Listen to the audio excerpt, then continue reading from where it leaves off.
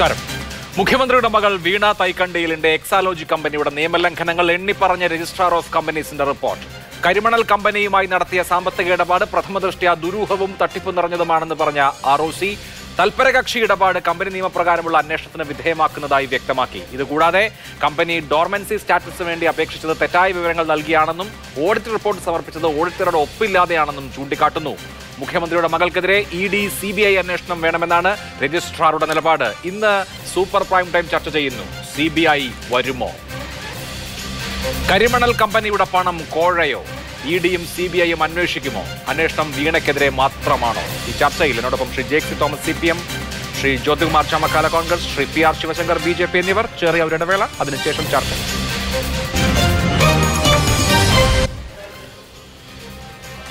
ചർച്ചയിലേക്ക്. ആദ്യം Shri P R Sivasankar. Exalogic കമ്പനിയും സി എം ആർ എൽ കമ്പനിയും തമ്മിലുള്ള സാമ്പത്തിക ഇടപാട് ഫ്രോഡ്ലൻഡാണ് ആണ് ഡ്യൂബിയസ് ആണ് എന്ന് പറയുന്നു രജിസ്ട്രാർ ഓഫ് കമ്പനീസ്. അത് വളരെ ഗുരുതര സ്വഭാവമുള്ള ഒരു ആരോപണമാണല്ലോ. ഈ രജിസ്ട്രാർ ഓഫ് കമ്പനീസ് തന്നെ പറയുന്ന ഒരു കാര്യം ഇത് ഈ സാമ്പത്തിക ഇടപാട് prevention of money laundering act അനുസരിച്ച് അന്വേഷിക്കണം. അതുപോലെ തന്നെ പ്രിവെൻഷൻ ഓഫ് കറപ്ഷൻ ആക്ട് അനുസരിച്ചും അന്വേഷിക്കണം. അപ്പോൾ പ്രിവെൻഷൻ ഓഫ് കറപ്ഷൻ ആക്ട് അനുസരിച്ച് ഇത് രണ്ട് സംസ്ഥാനങ്ങളിലെ നടന്ന വിഷയമാണ്. സ്വാഭാവികമായും സി ബി ഐ ആണ് അന്വേഷിക്കേണ്ടത്. മറ്റേത് എൻഫോഴ്സ്മെന്റ് ഡയറക്ടറേറ്റ് ആണ് അന്വേഷിക്കേണ്ടത്. കോമ്പറ്റന്റ് ഏജൻസി എൻഫോഴ്സ്മെന്റ് ഡയറക്ടറേറ്റ് ആണ്. സാധാരണ നിലയിലുള്ള ഇത്തരത്തിലുള്ള വിഷയങ്ങളുടെയൊക്കെ ഒരു ടിപ്പ് കിട്ടിയാൽ അത് തേടിപ്പോകുന്ന ഇ ഡി പിണറായി വിജയന്റെ മകളുമായി ബന്ധപ്പെട്ട ഈ കമ്പനിയുടെ സാമ്പത്തിക ഇടപാടുകൾ അന്വേഷിക്കാൻ മടിച്ചു നിൽക്കുന്നത് എന്തുകൊണ്ടാണ്? എന്താണ് എൻഫോഴ്സ്മെന്റ് ഡയറക്ടറേറ്റിന് ഇക്കാര്യത്തിൽ ഒട്ടും താല്പര്യമില്ലാത്തത്?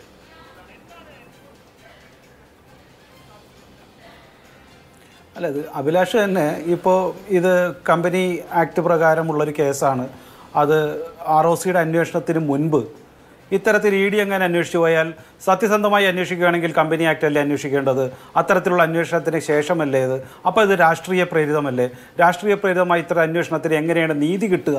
എന്നുള്ളതായിരിക്കും അഭിലാഷ് ഇന്ന് ഇ ഡിയാണ് ഇത്തരത്തിലൊരു അന്വേഷണം ഇട്ടെങ്കിൽ ചോദിക്കുക. അപ്പോൾ ഇത് രണ്ടായാലും കുറ്റം ബി ജെ പിക്കാണ്. അല്ലെങ്കിൽ ഞാൻ ഉത്തരം പറയേണ്ടി വരും എന്നുള്ള ഒരു രീതിയാണ്. നിയമപ്രകാരം കമ്പനി ആക്ട് പ്രകാരം കമ്പനിയാണ് ഇപ്പോ എത്ര മാസം മുമ്പാണ് ആദായ നികുതി ഇന്റർം സെറ്റിൽമെന്റ് ബോർഡിന്റെ വിധി വന്നത്? ആദായ നികുതി ഇന്റർം സെറ്റിൽമെന്റ് ബോർഡ് പറഞ്ഞൊരു കാര്യം ഈ തുക വീണ വിജയന് കിട്ടിയ തുകയും എക്സാലോജിക്കിന് കിട്ടിയ തുകയും ചെയ്ത സേവനത്തിനുള്ള പ്രതിഫലമല്ല എന്നുള്ളതാണ്. ചെയ്ത സേവനത്തിനുള്ള പ്രതിഫലമല്ലാതെ പണം കിട്ടിയാൽ അത് എന്ത് പണമാണ് എന്ന് പിന്നെ പ്രത്യേകിച്ച് അന്വേഷിക്കേണ്ട കാര്യമല്ലോ അപ്പോൾ അവിടെ തന്നെ ഈ പറഞ്ഞ ട്രാൻസാക്ഷൻ എന്നുള്ളത് ലീഗലായ ട്രാൻസാക്ഷൻ ആണ് പക്ഷെ അത് അവർ ചെയ്ത സർവീസിനുള്ള പ്രതിഫലമായി കിട്ടിയതല്ല എന്ന് വ്യക്തമാകുമ്പോൾ എൻഫോഴ്സ്മെന്റ് ഡയറക്ടറേറ്റിന് പരിശോധിക്കാമല്ലോ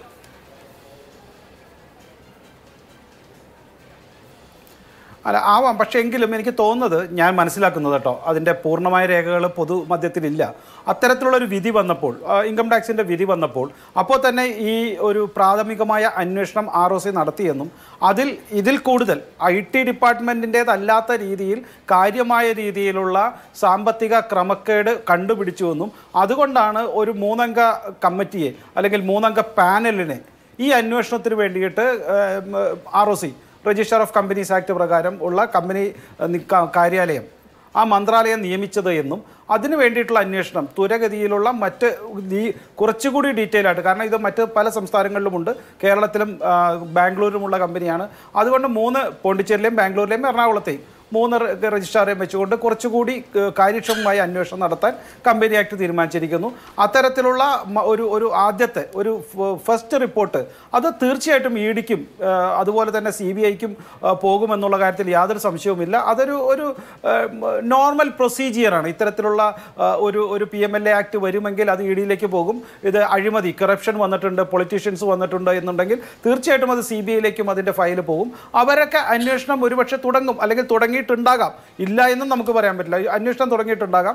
കുറച്ചുകൂടി അന്വേഷണ ഉദ്യോഗസ്ഥർക്ക് സമയം കൊടുക്കുക. അവർ വിധി ഒരു അന്വേഷണത്തിൽ കുറച്ചുകൂടി കഴമ്പുണ്ടോ എന്ന് നോക്കിയിട്ട് കാരണം ഇതിൽ ചുമത്തിയിരിക്കുന്ന കേസുകളെല്ലാം വളരെ ശക്തമായ കേസുകളാണ്. അത്തരത്തിൽ ഭയക്കേണ്ട ആവശ്യമില്ല. കാരണം സെക്ഷൻ ഫോർ ഫോർട്ടി സെവനും ഫോർ ഫോർട്ടി എയ്റ്റും ഒക്കെ നേരത്തെ സൂചിച്ച പോലെ ഡൂബിയസ് ആക്ട് ഡൂബിയസ് ആയിട്ട് ഫണ്ട് തിരിമറി ചെയ്തിട്ടുണ്ട് മടക്കിയിട്ടുണ്ട്. ഇത് പ്രോപ്പർട്ടി ആക്കിയിട്ടുണ്ടെങ്കിൽ അതെല്ലാം സീഷർ ചെയ്യുവാനും അവരെയെല്ലാം വിളിച്ചു വരുത്തുവാനും അതിന്റെ പ്രെമിസസ് റെയ്ഡ് ചെയ്യുവാനും നടത്തുവാനും അടക്കമുള്ള ആക്ടുകൾ ഈ P M L A act പ്രകാരമുണ്ട്. Company act പ്രകാരം വൺ ട്വന്റി നയൻ അടക്കമുള്ള കാര്യങ്ങൾ ചേർത്തിയിട്ടുണ്ട് അത് എല്ലാം ശക്തമായ ആക്ടാണ് അപ്പോൾ കമ്പനി ആക്ട് പ്രകാരവും ശക്തമായ നിയമ നടപടികൾക്ക് തുടക്കം കുറിച്ചിരിക്കുന്നു. ശരി തുടങ്ങിയിരിക്കുന്നു എന്നുള്ളതാണ്. ഇവിടെ നോക്കൂ ജ്യോതികുമാർ ചാമക്കാല. ഇത് ഒരു രാഷ്ട്രീയ ആരോപണമായി വന്ന വിഷയമല്ല. മറിച്ച് ആദായ നികുതി ഇൻട്രീം സെറ്റിൽമെന്റ് ബോർഡിന്റെ തീർപ്പിൽ ഈ പരാമർശം ഉണ്ടാകുന്നു അതായത് മുഖ്യമന്ത്രിയുടെ മകൾ വീണയ്ക്ക് ലഭിച്ചിട്ടുള്ള പ്രതിഫലം എന്ന് പറയുന്നത്. ചെയ്ത സർവീസിനുള്ള പ്രതിഫലമല്ല. മറിച്ചൊരു പ്രധാനപ്പെട്ട വ്യക്തിയുമായുള്ള ബന്ധമാണ് ആ ട്രാൻസാക്ഷന് പിന്നിൽ എന്ന് ആദായ നികുതി ഇന്ത്യൻ സെറ്റിൽമെന്റ് ബോർഡ് വിധിക്കുമ്പോഴാണ് നമ്മുടെ പൊതുസമൂഹത്തിന് മുൻപിലേക്ക് വരുന്നത്. അപ്പോൾ അത്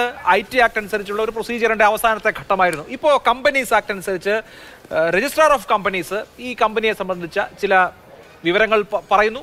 ചില നിയമലംഘനങ്ങൾ ചൂണ്ടിക്കാണിക്കുന്നു. അവരതനുസരിച്ച് കമ്പനി ആക്ട് അനുസരിച്ചിട്ടുള്ള നിയമലംഘനങ്ങൾ വയലേഷൻസ് ചൂണ്ടിക്കാണിച്ച് അതിന് തത്തുല്യമായ നടപടിയെടുക്കുന്നു. ഇനി അതിന്റെ അടുത്ത സ്റ്റേജിൽ അത് എൻഫോഴ്സ്മെന്റ് ഡയറക്ടറേറ്റിന്റെ മണി ലോണ്ടറിംഗ് നടന്നിട്ടുണ്ടോ എന്നുള്ള പരിശോധനയിലേക്ക് പോകും. കറപ്ഷൻ ആണോ നടന്നതെന്നുള്ള കോമ്പിറ്റന്റ് ഏജൻസിയുടെ ഇതിലേക്ക് പോകും. അതൊക്കെ അതിന്റെ ഒരു ഡ്യൂ പ്രോസസ്സിൽ അങ്ങ് നടക്കുന്നതല്ലേ നല്ലത്. അതിനപ്പുറത്ത് അവർ വന്ന് ഇവരെ പിടിക്കുന്നില്ലല്ലോ എന്ന് പറയുമ്പോൾ അത് രാഷ്ട്രീയം സ്വാഭാവികമായും ആരോപിക്കപ്പെടും.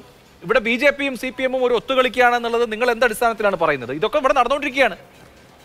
നമ്മൾ ഇപ്പോൾ നമ്മൾ നേരിട്ട് ഈ ചർച്ചയിലേക്ക് കടക്കുമ്പോൾ നമ്മളെ കേൾക്കുന്ന പ്രേക്ഷകർക്ക് ഒരു പക്ഷേ നമ്മളോടൊപ്പം ഓടിയെത്താൻ കഴിയുന്ന വരുന്നില്ല വളരെ സിമ്പിളാണ്. നമ്മൾ ഒരു രണ്ട് സെക്കൻഡ് രണ്ട് മിനിറ്റിൽ ഇതിന്റെ ഹിസ്റ്ററി പറഞ്ഞാൽ നമുക്കറിയാം സി എം ആർ എല്ലുമായി ബന്ധപ്പെട്ട് സി എം ആർ എൽ എന്ന് പറയുന്ന കരിമണൽ ഖനനം ചെയ്യുന്ന കമ്പനിയിൽ ഇൻകം ടാക്സിന്റെ റെയ്ഡ് നടക്കുകയും അവിടെ അവരുടെ ഇൻകം കുറച്ച് കാണിക്കുകയും അവരുടെ എക്സ്പെൻഡിച്ചർ കൂട്ടി കാണിക്കുകയും ചെയ്തതിനെ തുടർന്ന് അവർ അവിടെ അന്വേഷണം നടത്തുന്നു. ആ അന്വേഷണത്തിന്റെ ഭാഗമായി നിരവധി കാരണങ്ങൾ അവർ കണ്ടെത്തുന്നു. ആ കണ്ടെത്തലിന്റെ ഭാഗമായിട്ട് അവർ പിന്നെ ഈ പറയുന്ന എക്സാലോജിക്ക് എന്ന് പറയുന്ന കമ്പനിയുമായിട്ടുള്ള എഗ്രിമെന്റിനെ കുറിച്ച് പരിശോധിക്കുന്നു. ആ പരിശോധിക്കുമ്പോൾ എക്സാലോജിക്ക് പരിശോധന മാത്രമല്ല അതിനെ തുടർന്നുള്ള തെളിവെടുപ്പും ഒക്കെ നടത്തുമ്പോൾ എക്സാലോജിക്കിന് ഒരു സർവീസ് നൽകാതെ തന്നെ എക്സാലോജിക്കിനും അതിന്റെ C M D M D ആയിട്ടുള്ള വീണ വിജയനും പ്രതിമാസം എട്ട് ലക്ഷം രൂപ ഒരു അഞ്ച് ലക്ഷം രൂപ വീണ വിജയനും മൂന്ന് ലക്ഷം രൂപ കമ്പനിക്കും ഉൾപ്പെടെ എട്ട് ലക്ഷം രൂപ പ്രതിമാസം കൊടുക്കുന്നു. അങ്ങനെ ഒരു കോടി എഴുപത്തിരണ്ട് ലക്ഷം രൂപ മുഖ്യമന്ത്രിയുടെ മകൾക്ക് മകളുടെ കമ്പനിക്ക് കൊടുത്തതായി കാണുന്നു.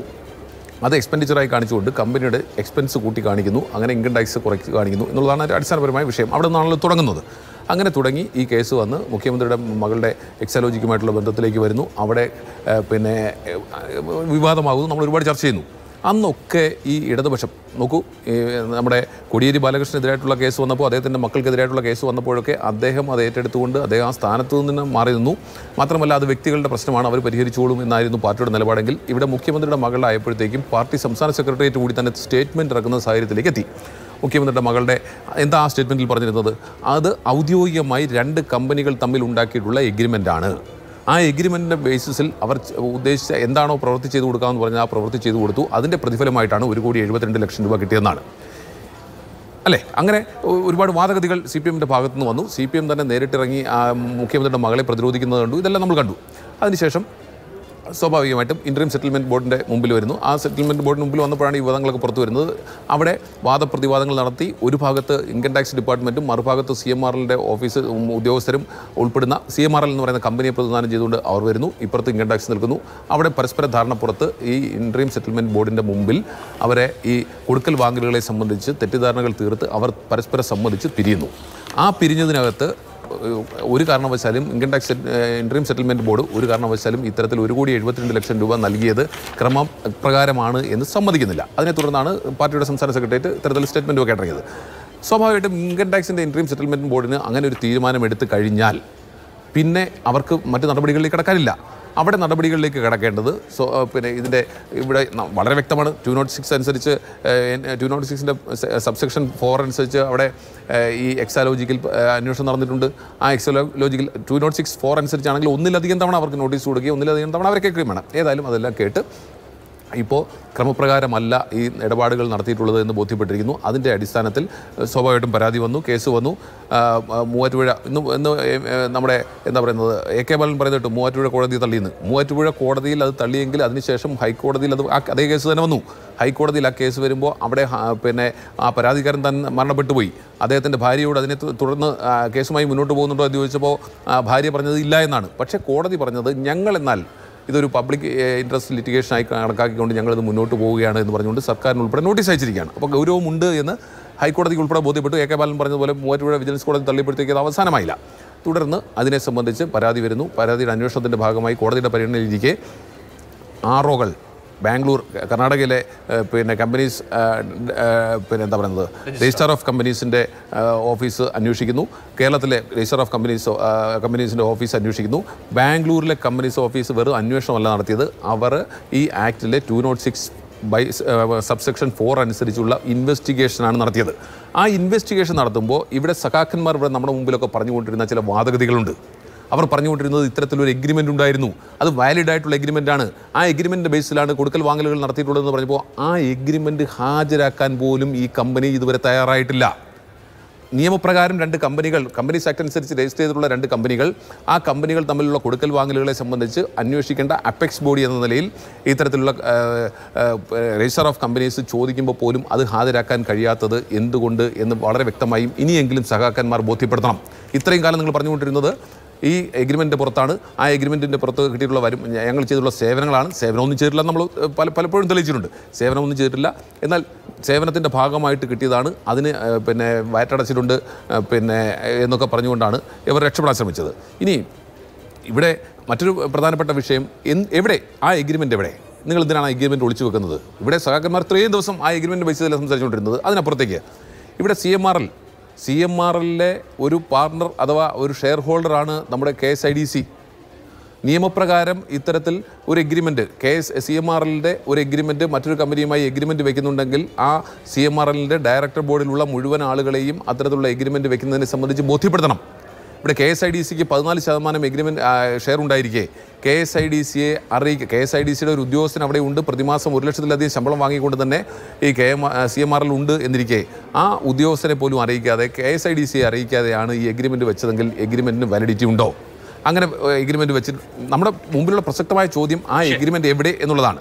അപ്പോൾ പക്ഷേ ആ എഗ്രിമെന്റ് ഈ ആർ ഒക്ക് ആർ ഒ സിക്ക് കിട്ടിയിട്ടുണ്ട് കാരണം to prove that service at C M V R attaching herewith agreement copy twenty six A S I T R and G S T returns of Veena Thaikandiyil in annexure five sorry annexure six agreement ഉണ്ട്. വീണയും ഈ കമ്പനിയുമായിട്ട് agreement ഇല്ല. മറിച്ച് എക്സാലോജിക് എന്ന കമ്പനിയും C M ആറിലും തമ്മിൽ agreement ഉണ്ട്. അതാ ഞാൻ പറഞ്ഞത്. അപ്പോൾ വീണ വീണയുടെ ഇടപെടൽ വീണ വീണ എന്ത് എന്ത് സേവനമാണ് നൽകിയിട്ടുള്ളത്? വീണ നൽകിയ സേവനത്തെ സംബന്ധിച്ചുള്ള എഗ്രിമെന്റ് ഹാജരാക്കാൻ കഴിയുമോ? അങ്ങനെ എഗ്രിമെന്റ് വെച്ചുകൊണ്ടാണോ പ്രതിമാസം അയ്യഞ്ച് ലക്ഷം രൂപ വീണയുടെ അക്കൗണ്ടിലേക്ക് കൊടുത്തുകൊണ്ടിരുന്നത് എന്നതിനെ സംബന്ധിച്ച് ഒന്ന്. രണ്ട് ഇതിനപ്പുറത്തേക്ക് പിന്നെ ബോർഡ് ഓഫ് ഡയറക്ടേഴ്സിനെ അറിയിക്കാത്തത് എന്തുകൊണ്ട് എന്ന ചോദ്യം. മൂന്ന് ഇത് ഇതേ വിഷയവുമായി ബന്ധപ്പെട്ട് ഇത്രയും കാലം ഇവർ പറഞ്ഞുകൊണ്ടിരുന്നത് ഈ കമ്പനിയെ കേട്ടിട്ടില്ല എന്നുള്ളതാണ്. ഈ പിന്നെ എന്താ പറയുന്നത് എക്സാലോജിക്കിനെ ഒരു ഘട്ടത്തിൽ പോലും കേട്ടിട്ടില്ല. ഇന്നും ഇന്നും പിന്നെ നമ്മുടെ എ കെ ബാലൻ പറഞ്ഞിട്ട് കേട്ടിട്ടില്ല കേട്ടിട്ടില്ല എന്ന്. ഈ ടു നോട്ട്സ് പിന്നെ എന്താ companies ആക്ടിന്റെ section two nought six subsection four അനുസരിച്ച് കൃത്യമായി ഒന്നിലധികം തവണ അവർക്ക് ടു നോട്ട് സിക്സ് അനുസരിച്ച് കേൾക്കുകയും ആ കേട്ടതിന് ശേഷം അതിന്റെ ഫൈനിങ്സ് നോക്കിയതിന് ശേഷം വീണ്ടും ഒരിക്കൽ കൂടി അവരെ കേൾക്കാൻ അവസരം കൊടുത്തതിന് ശേഷമാണ് അത് സെറ്റിൽ ചെയ്യുന്നത്. എന്ന് പറയുമ്പോൾ ആ കമ്പനിയെ ഒന്നിലധികം തവണ കേട്ടിരിക്കുന്നു. എന്നിട്ടും ആ പിന്നെ എന്താ കമ്പനി കാര്യ മന്ത്രാലയത്തിന് ഇതിനെക്കുറിച്ച് ബോധ്യപ്പെടുന്നില്ല. ഇപ്പോൾ ആർ ഒ സി തന്നെ രജിസ്റ്റർ ഓഫ് കമ്പനീസ് ബാംഗ്ലൂർ തന്നെ ഈ എക്സാലോജിക്കിനെതിരായിട്ടുള്ള നടപടികളുമായി മുന്നോട്ട് പോകണമെന്നും അവിടെ prevention of money laundering act അനുസരിച്ചും അതുപോലെ പ്രിവെൻഷൻ ഓഫ് കറപ്ഷൻ ആക്ട് അനുസരിച്ചുമുള്ള നടപടികളുമായി മുന്നോട്ട് പോകണം. ഫോർ ഫോർട്ടി സെവനും ഫോർ ഫോർട്ടി എയ്റ്റും അനുസരിച്ച് മുന്നോട്ട് പോകണമെന്ന് കേന്ദ്ര കമ്പനി കാര്യ മന്ത്രാലയത്തിന് അനു കത്ത് നൽകിയിരുന്നു അവ- അഭിലാഷ് ഇവിടെ മനസ്സിലാക്കേണ്ട മറ്റൊരു കാര്യം. ഈ എക്സാലോജിക്കിന് ഏതൊക്കെ കമ്പനികളുമായി നേരത്തെ ധാരണയുണ്ട്? ആ കമ്പനികളുമായി ബന്ധപ്പെട്ട് എന്തെങ്കിലും കേന്ദ്ര ഏജൻസികൾ നേരത്തെ അന്വേഷിച്ചിട്ടുണ്ടോ? അന്വേഷിച്ചു എന്ന് നമ്മുടെ മുഖ്യമന്ത്രി നമ്മൾ നമ്മളോട് പറഞ്ഞിട്ടുണ്ട്. ഇതിനെ സംബന്ധിച്ച് അന്വേഷണം നടക്കുകയും അതിൽ ചില കമ്പനികളെ സംബന്ധിച്ചുള്ള വിവാദപരമായ സ്റ്റേറ്റ്മെന്റ് കേന്ദ്ര ഏജൻസികളുടെ ഭാഗത്തു ഉണ്ടായി എന്നും നമ്മുടെ മുഖ്യമന്ത്രി നിയമസഭയിലും പുറത്തും പറഞ്ഞിട്ടുണ്ട്. അങ്ങനെ ഉണ്ടെങ്കിൽ ആ അന്വേഷണം ഏത് ഏജൻസി നടത്തി? എന്ന് നടത്തി അത് എങ്ങനെ അവസാനിപ്പിച്ചു? ഇപ്പോഴും ആ അന്വേഷണം ഉണ്ടോ? ഇല്ലെങ്കിൽ അത് എവിടെ വെച്ചാണ് ഒത്തുതീർപ്പായത്? അതിനെ സംബന്ധിച്ച് കൂടി മുഖ്യമന്ത്രി അല്ലെങ്കിൽ പാർട്ടി സെക്രട്ടറി പറയണ്ടേ? ഒത്തുതീർപ്പിലേക്ക് വരുന്നതിന് മുമ്പ് നമുക്ക് ഈ റിപ്പോർട്ടിന്റെ ഉള്ളടക്കത്തെ കുറിച്ച് വിശദമായി തന്നെ ഒന്ന് ചർച്ച ചെയ്ത് പോകണം. പക്ഷേ ജേക്സി തോമസ് ഒരു സ്റ്റാറ്റ്യൂട്ടറി ബോഡിയാണ് ആർ ഒ സി. അവർ ആ ബോഡിയിൽ രജിസ്റ്റർ ചെയ്തിരിക്കുന്ന എക്സാലോജിക് എന്ന കമ്പനിയുടെ ട്രാൻസാക്ഷൻസിനെ കുറിച്ച് വലിയ സംശയം ഉന്നയിച്ചിരിക്കുകയാണ്. കേരളത്തിന്റെ മുഖ്യമന്ത്രിയുടെ മകൾ ഉടമസ്ഥയായിട്ടുള്ള എക്സാലോജി കമ്പനിയുടെ ഈ ട്രാൻസാക്ഷനെ ഫ്രോഡ്ലൻഡ് എന്നാണ് though prima facie the transactions between C M R L and Exalogic Solutions Private Limited are fraudulent എന്ന് രജിസ്ട്രാർ ഓഫ് കമ്പനീസ് പറയാണ്. എന്ന് പറഞ്ഞാൽ ഈ കരിമണൽ കമ്പനിയിൽ നിന്ന് വീണ തൈക്കണ്ടിയിലും എക്സാലോജിക്കും പണം വാങ്ങിയത് ഏതെങ്കിലും തരത്തിലുള്ള സർവീസിനുള്ള സേവനത്തിനുള്ള പ്രതിഫലമായിട്ടല്ല. മറിച്ച് നമുക്ക് മലയാളത്തിൽ കോഴ എന്ന് വിശേഷിപ്പിക്കാൻ കഴിയുന്ന വിധത്തിലാണ്. ഫ്രോഡലന്റ് ട്രാൻസാക്ഷൻ നടന്നു എന്നൊരു സ്റ്റാറ്റുട്ടറി സ്റ്റാറ്റ്യൂട്ടറി ബോഡി പറയുന്ന ഘട്ടത്തിൽ അതിൽ അന്വേഷണം വേണം. അത് പ്രിവെൻഷൻ ഓഫ് കറപ്ഷൻ ആക്ട് അനുസരിച്ച് അന്വേഷിക്കണം. അത് മണി ലോണ്ടറിംഗ് ആക്ട് അനുസരിച്ച് അന്വേഷിക്കണം എന്നൊരു ഒരു സംവിധാനം പറയുമ്പോൾ അതിനെ രാഷ്ട്രീയമായി പ്രതിരോധിക്കേണ്ടതുണ്ടോ ന്യായീകരിക്കേണ്ടതുണ്ടോ?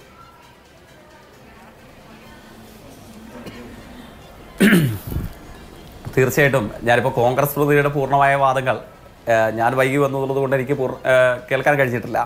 ഇരിക്കട്ടെ തുടർ ചർച്ച തുടർ ഭാഗത്ത് അത്തരം വാദങ്ങൾ ഒന്നുകൂടെ ആവർത്തിക്കപ്പെടാൻ സാധ്യതയുണ്ടെന്നുള്ളതുകൊണ്ട് നമുക്ക് പിന്നീട് അതിലേക്ക് വരാം. അങ്ങയുടെ ചോദ്യത്തിലേക്ക് നേരിട്ട് വരിക തന്നെയും ചെയ്യാം. ഇപ്പോൾ നമ്മൾ ഇന്നത്തെ ചർച്ചയ്ക്ക് ആധാരമാകും വിധം നമുക്കറിയാവുന്നതുപോലെ ആർ ഒ സി കർണാടകയുടെ ഭാഗത്തു നിന്ന് ഇപ്പോൾ പുതിയ വിവരങ്ങൾ. ആ വിവരം തന്നെ ആദ്യം വന്നത് ഏത് വഴിയാണെന്നുള്ളത് കേരളത്തിലെ പ്രേക്ഷകർ അറിയേണ്ടതാണ്. ഇത്തരത്തിൽ രഹസ്യ സ്വഭാവത്തോടു കൂടെ ആഘോഷിക്കപ്പെട്ടു എന്ന ഒരു രേഖ കേരളത്തിലെ B J P cabinet rank പദവി അലങ്കരിക്കുന്ന ഒരു മുതലാളിയുടെ നേതൃത്വത്തിലുള്ള ചാനലാണ് ആദ്യം ബ്രേക്ക് ചെയ്തത്. ആ ബ്രേക്ക് ചെയ്യപ്പെട്ട രേഖ പിന്നീട് സ്വാഭാവികമായി കേരളത്തിൽ കേന്ദ്ര അന്വേഷണ ഏജൻസികളും മറ്റ് സംഘങ്ങളും ഒക്കെ ലീക്ക് ചെയ്ത് കൊടുക്കുന്നത് പോലെ കേരളത്തിലെ മറ്റു മാധ്യമങ്ങൾക്ക് ലഭിക്കുകയും അതേ തുടർന്ന് ചർച്ച ഉയർന്നു വരികയും ചെയ്തു. നന്നായി ചർച്ച ഉയർന്നു വരട്ടെ നമുക്ക് ആർക്കും തർക്കമില്ല. പക്ഷേ ഇപ്പോഴതാ കർണാടക ആർ ഒ സി അതിന് തട്ട് തൊട്ട് മുമ്പ് ഈ കർണാടക ആർ ഒ സിയിലേക്ക് എത്തുന്നതിന് മുമ്പ് പര്യാപ്തമായ കേസ് കേസിനെ സംബന്ധിച്ചുള്ള കേസിന് ആസ്പദമായ കാര്യം എന്താണ്? അത് പല മാധ്യമങ്ങളും ചർച്ചയ്ക്ക് വിധേയമാക്കുന്നില്ല. ആ കേസിന്റെ ഏറ്റവും പ്രധാനപ്പെട്ട പ്രേ എന്ന് പറയുന്നത് എന്തായിരുന്നു? ഈ സി എം ആർ എന്ന് പറയുന്ന കമ്പനി കോടാനുകോടി രൂപയുടെ ഒരു തരത്തിലുള്ള ലീഗലൈസ്ഡ് കറപ്ഷൻ കേരളത്തിൽ നടത്തിയിരിക്കുന്നു. കേരളത്തിലെ മതസ്ഥാപനങ്ങൾക്ക് മാധ്യമങ്ങൾക്ക് രാഷ്ട്രീയ പ്രസ്ഥാനങ്ങൾക്ക് രാഷ്ട്രീയ പ്രസ്ഥാനങ്ങളുടെ വിവിധ നേതൃപദവി അലങ്കരിക്കുന്ന നേതൃ നേതാക്കന്മാർക്ക് ഒക്കെ പണം കൊടുത്തിരിക്കുന്നു. ഈ പണം കൊടുത്തിരിക്കുന്നത് തങ്ങളുടെ തെറ്റായ നയസമീപനങ്ങളെയും അതുവഴി സമ്പാദിച്ച പണത്തെയും വെളുപ്പിച്ചെടുക്കുന്നതിന് വേണ്ടിയിട്ടാണ്. അല്ലെങ്കിൽ തങ്ങളുടെ അഴിമതിയെ നീതിപൂർവമാക്കി മാറ്റിയെടുക്കുന്നതിന് വേണ്ടിയിട്ടാണ്. അതിന്റെ ഒരു മൂടുപടം നൽകുന്നതിന് വേണ്ടിയിട്ടാണ് എന്നുള്ളതായിരുന്നു ആ കേസിന് ആസ്പദമായ സംഭവം. ആ കേസിന് ആസ്പദമായി ഈ പ്ലേ ഈ പ്രേ മുമ്പോട്ടേക്ക് വെച്ചതിനെ തുടർന്നാണ് ഇപ്പോൾ മിനിസ്ട്രി ഓഫ് ഈ എം ഒ സിയോട് ഇത് അന്വേഷിക്കാൻ വേണ്ടി പറഞ്ഞു. എം ഒ സി സമാനമായി ആർ ഒ സിയോട് ഇത് പറയുന്നു. ഇപ്പോൾ നമുക്ക് ലഭ്യമായ ഒരു രേഖയിലേക്ക് വരുന്നു. ഇപ്പോൾ കർണാടക ആർ ഒ സിയിൽ നിന്നാണ് സമാനമായി ഇപ്പോൾ നിങ്ങൾക്ക് പറയാനുള്ള ഫ്രോഡിലൻഡ് ആക്ട് എന്നൊക്കെ പറയാൻ പര്യാപ്തമായ ഒരു രേഖ വന്നത്. ഇതിന് യഥാർത്ഥത്തിൽ ഇൻട്രീം സെറ്റിൽമെന്റ് ബോർഡുമായി മുമ്പ് നടന്ന നമ്മൾ സംവാദാത്മകമായ വിഷയമായി തെരഞ്ഞെടുത്ത എന്തെങ്കിലും ഒരു കാര്യവുമായി ബന്ധമുണ്ടായിരുന്നോ? ഇനി ശരി മുഖ്യമന്ത്രിയുടെ മകൾ അവരുടെ നേതൃത്വം നൽകുന്ന എക്സാലോജി കമ്പനി ഈ കമ്പനി എന്തൊക്കെ വഴിവിട്ട ഇടപാടുകൾ നടത്തി എന്നുള്ളതാണ് മുമ്പ് അവകാശവാദം ഉണ്ടായിരുന്നത്. അതിനെ സംബന്ധിച്ച് കേരളത്തിലൊരു കേസ് ഉണ്ടായിരുന്നില്ലേ? ആ കേസിനെ സംബന്ധിച്ച് മൂവാറ്റുപുഴയിലെ കോടതിയുടെ വിധി എന്തായിരുന്നു? പിന്നീട് ആ കേസ് ഹൈക്കോടതിയിൽ ഇപ്പോൾ എത്തിപ്പെട്ടിരിക്കുന്നു. ഹൈക്കോടതി ആ കേസിൽ സ്വീകരിച്ചിരുന്നിരിക്കുന്നൊരു സമീപനം എന്താണ് എക്സാലോജി കമ്പനികളുടെ ഉടമയ്ക്ക് ഒരു നോട്ടീസ് അയക്കാൻ ഹൈക്കോടതി തയ്യാറായിട്ടുണ്ടോ? അവരുടെ മറ്റു കാര്യങ്ങളെക്കുറിച്ച് സവിസ്തരമായി ഇപ്പോൾ തന്നെ എനിക്ക് മറുപടി ലഭിക്കണം. ഇതിൽ അങ്ങ് സൂചിപ്പിച്ചതുപോലെ ഫ്രോഡിലന്റ് ആക്ട് നടന്നിട്ടുണ്ട് എന്നൊരു പ്രതികരണം ഒരു ഓപ്പൺ കോർട്ട് പ്രതികരണം നടത്താൻ ഇപ്പൊ പല ഓപ്പൺ കോർട്ട് പ്രതികരണങ്ങൾ നടത്തുന്ന ഹൈക്കോടതി സിംഗിൾ ബെഞ്ച് ന്യായാധിപരുള്ള കാലം കൂടെയാണോ കേരളത്തിന്? അങ്ങനെ ഒരു പ്രതികരണം നടത്താൻ നമ്മൾ ആരെങ്കിലും സാക്ഷി വഹിച്ചോ? ഇല്ല. പിന്നെ കർണാടകയിലെ ആർ ഒ സി ഇപ്പൊ അങ്ങ് സൂചിപ്പിച്ചതുപോലെ വസ്തുതയാണ്. ഇല്ലാതെന്ന് ഞങ്ങൾ കരുതുന്നില്ല. ആ അന്വേഷണം നടക്കട്ടെ എന്നുള്ളത് തന്നെയാണ് ഞങ്ങളുടെ നിലപാട്. ആദരണീയരായ കേരളത്തിന്റെ മുൻ നിയമമന്ത്രി കൂടിയായിട്ടുള്ള സഖാവ് എ കെ ബാലൻ അതിനെ സംബന്ധിച്ച് സംശയങ്ങൾ കിടമില്ലാത്ത വണ്ണം എന്ന് വ്യക്തമാക്കിയിട്ടുണ്ട്. പാർട്ടിയുടെ സംസ്ഥാന സെക്രട്ടറി ഇ ഡിയും സി ബി ഐയും ഉൾപ്പെടെ ഇന്ന് കോൺഗ്രസുകാർ മാടി വിളിക്കുന്ന deity politics politics department D P D എന്ന് ആദരണീയനായ നമ്മുടെ വയനാട് എം പി പറഞ്ഞ ഈ സ്ഥാപനങ്ങളെ ഇന്ന് മാടി വിളിക്കുന്നു. അവരുടെ സമീപനത്തെക്കുറിച്ചും ഞങ്ങൾ ഇന്ന് വ്യക്തമാക്കിയിട്ടുണ്ട്. അപ്പോൾ ഇപ്പോൾ സംഭവിച്ചിട്ടുള്ളത് യാതൊരു തരത്തിലും അതായത് വസ്തുതാപൂർണമായ തെളിവുകളുടെ അടിസ്ഥാനത്തിൽ പിടികൂടാനോ തകർക്കാനോ കഴിയാത്ത ഒരു രാഷ്ട്രീയത്തെ വേറെന്തെങ്കിലും മാർഗത്തിലൂടെ ഒന്ന് പരിക്കേൽപ്പിക്കാൻ കഴിയുമോ എന്ന പരിശോധന നടത്തുകയാണ്. ആ പരിശോധന നടക്കട്ടെ. നമുക്ക് നിയമപരമായും രാഷ്ട്രീയമായി അവിടെ നിൽക്കട്ടെ. രാഷ്ട്രീയം അവിടെ നിൽക്കട്ടെ. നമുക്ക് ഈ നിയമത്തെ കുറിച്ച് സംസാരിച്ചാൽ തന്നെ ഈ രജിസ്ട്രാർ ഓഫ് കമ്പനീസ് കമ്പനി നിയമപ്രകാരം കമ്പനി നിയമത്തിലെ വിവിധ വകുപ്പുകൾ അനുസരിച്ച് ചൂണ്ടിക്കാണിക്കാൻ കഴിയുന്ന വയലേഷൻസ് എക്സാലോജിക്കിനെ കുറിച്ച് ചൂണ്ടിക്കാണിച്ചിട്ടുണ്ട്. താങ്കളത് ശ്രദ്ധിച്ചിട്ടുണ്ടോ എന്ന് എനിക്കറിയില്ല. ഡോർമെൻസി സ്റ്റാറ്റസിന് വേണ്ടി അപേക്ഷിക്കാൻ വേണ്ടി ഈ കമ്പനി തെറ്റായ വിവരം നൽകി. കമ്പനി ആക്ടിലെ നാനൂറ്റി നാൽപ്പത്തി ഏഴ് നാനൂറ്റി നാൽപ്പത്തി എട്ട് നാനൂറ്റി നാൽപ്പത്തി ഒൻപത് ചുമത്തിയിരിക്കുന്നു ഈ വിഷയത്തിൽ. ഓഡിറ്റ് റിപ്പോർട്ട് ഈ കമ്പനി കൊടുത്തത്. ഒരു ഓഡിറ്റ് റിപ്പോർട്ട് സബ്മിറ്റ് ചെയ്തത് ഓഡിറ്ററുടെ സൈൻ പോലും ഇല്ലാതെയാണ്. സെക്ഷൻ നൂറ്റി മുപ്പത്തി ആറ് ചുമത്തിയിരിക്കുന്നു. പിന്നെ സി എം ആറിലെ എക്സാലോജിക് സാമ്പത്തിക ഇടപാടിലെ ഈ പറഞ്ഞ ഫ്രോഡലന്റ് ട്രാൻസാക്ഷനെ കുറിച്ച് നാനൂറ്റി നാൽപ്പത്തി ഏഴ് നാനൂറ്റി നാൽപ്പത്തി എട്ട് ചുമത്തി അന്വേഷിക്കുന്നു കമ്പനി നിയമം. ഇത് കൂടാതെ ഈ കാര്യത്തിലെ മണി ലോണ്ടറിംഗ് ആംഗിളും അഴിമതി ആംഗിളും അന്വേഷിക്കാനാണ് ഇ ഡിയും സി ബി ഐയും വരണം എന്ന് ഈ രജിസ്ട്രാർ ഓഫ് കമ്പനീസ് കരുതുന്നത്. അപ്പോ ഒന്ന് വയലേഷൻസ് കമ്പനി ആക്ട് പ്രകാരമുള്ള വയലേഷൻസ് ചൂണ്ടിക്കാണിച്ചിരിക്കുന്നു. ഒന്ന് രണ്ടാമത്തേത് ഇതിലെ അഴിമതി അന്വേഷിക്കാൻ അതിന്റെ കോമ്പറ്റീറ്റ് ഏജൻസിയോട് ആവശ്യപ്പെട്ടിരിക്കുന്നു. അതിനകത്ത് രാഷ്ട്രീയത്തിനപ്പുറത്ത് എന്താണ് നടന്നത് എന്ന് അറിയാനുള്ള ജനങ്ങളുടെ അവകാശത്തെയല്ലേ നിങ്ങൾ മാനിക്കേണ്ടത്?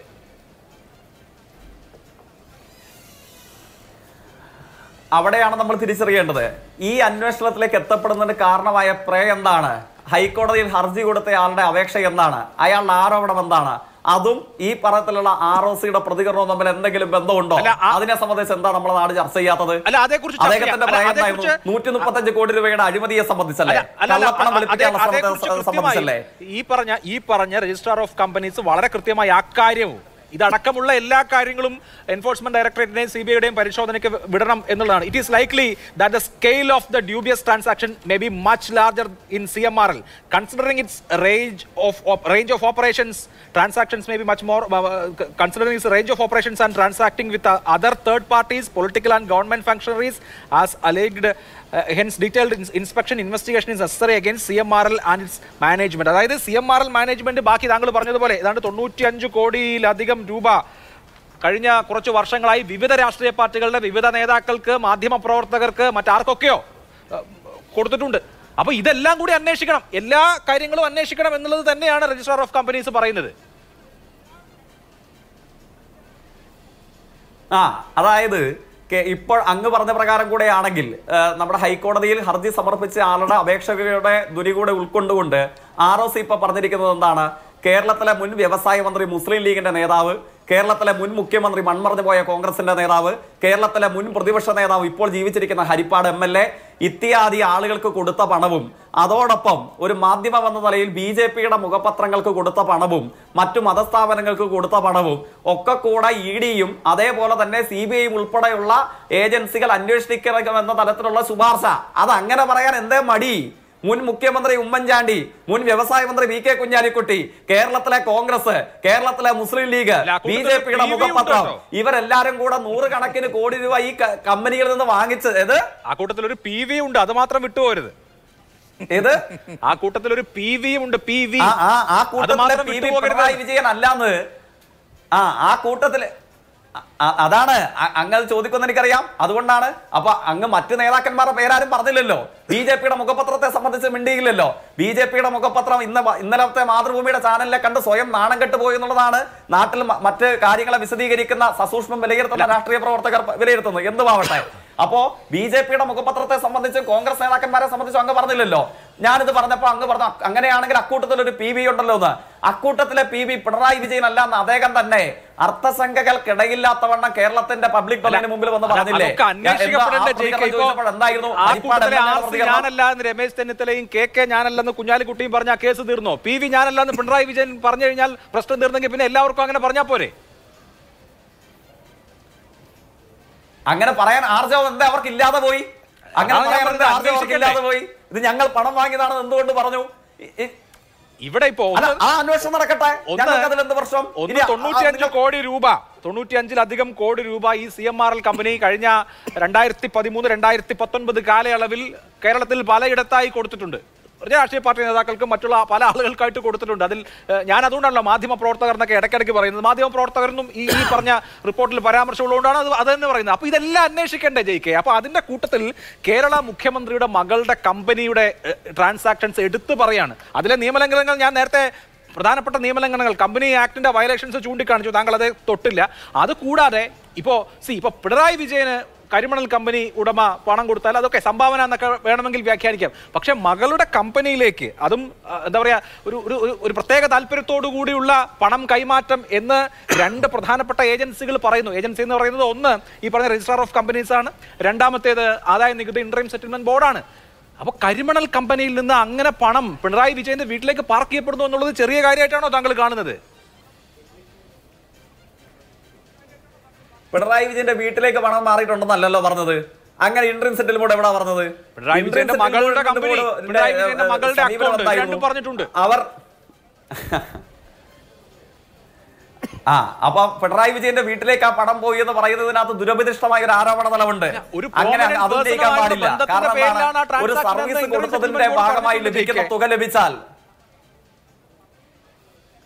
ആ ഇൻട്രീം സെറ്റിൽ ശരി നമുക്ക് ഘട്ടം ഘട്ടമായി കാര്യങ്ങൾ എടുക്കാം. ഇൻട്രീം സെറ്റിൽ ബോർഡിന്റെ വിധിയുടെ പ്രത്യേകത എന്താണ്? അവരുടെ തീർപ്പിന്റെ പ്രത്യേകത എന്താണ്? അവർ ഇത്തരത്തിൽ ഒരു മാന്യമായ സാമൂഹ്യ നീതി പരിപാലിക്കാൻ ഇന്റർ സെറ്റിൽ ബോർഡ് ശ്രമിച്ചിരുന്നോ? അവർ ഇത്തരത്തിൽ രണ്ട് കൂട്ടർക്കും അവർക്ക് അവർക്ക് അവകാശമുള്ള മറ്റു കാര്യങ്ങളെ വിശദീകരിക്കാൻ അർത്ഥപൂർണമായി മറ്റു കാര്യങ്ങളെ തെളിവ് നൽകാൻ അവർ അവസരം നൽകിയിരുന്നോ? ഇല്ലായിരുന്നല്ലോ. ഇന്റർ സെറ്റിൽ ബോർഡിന്റെ സമീപനം എന്തായിരുന്നു? നമ്മൾ അത്ര മണിക്കൂറുകളിൽ നിന്ന് ചർച്ച ചെയ്തതാണ്. After hearing both parties interim settlement board വേറൊരു വിധി പ്രസ്താവന നടത്തിയിട്ടുണ്ട്.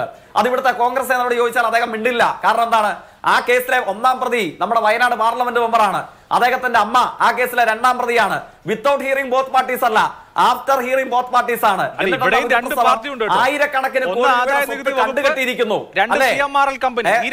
ഈ രണ്ട് കക്ഷികളെയും ഈ പറഞ്ഞ രണ്ട് പാർട്ടീസിനെയും കേട്ടിട്ടാണ് ആദായ നികുതി ഇന്റർം സെറ്റിൽമെന്റ് ബോർഡ് അവരുടെ തീർപ്പിലേക്ക് എത്തിയത്. അവിടുത്തെ രണ്ട് പാർട്ടികൾ ഒന്ന് C M R L company രണ്ടാമത് ആദായ നികുതി- വകുപ്പാണ്. അതിന്റെ ഇന്റർം സെറ്റിൽമെന്റ് ബോർഡാണ് ആ തീർപ്പ് പിന്നെ വരുത്തിയിരിക്കുന്നത്. ഒന്ന് രണ്ട്. ഓക്കെ ശരിയാണ്. വീണയെ കേട്ടിട്ടില്ല എന്നുള്ളതല്ലേ അങ്ങയുടെ പോയിന്റ് ശരി വീണയെ ഈ രജിസ്ട്രാർ ഓഫ് കമ്പനീസ് കേട്ടല്ലോ. കമ്പനി നിയമം അനുസരിച്ച് കേട്ടല്ലോ. അവർ പറയുന്നത് എന്താ? വീണ തൈക്കണ്ടിയിലിന്റെ മറുപടികൾ ഇവേസീവ് ആയിരുന്നു. അവർ ചോദ്യങ്ങൾ ചോദിച്ചതിൽ നിന്ന് ഒഴിഞ്ഞു മാറുകയായിരുന്നു.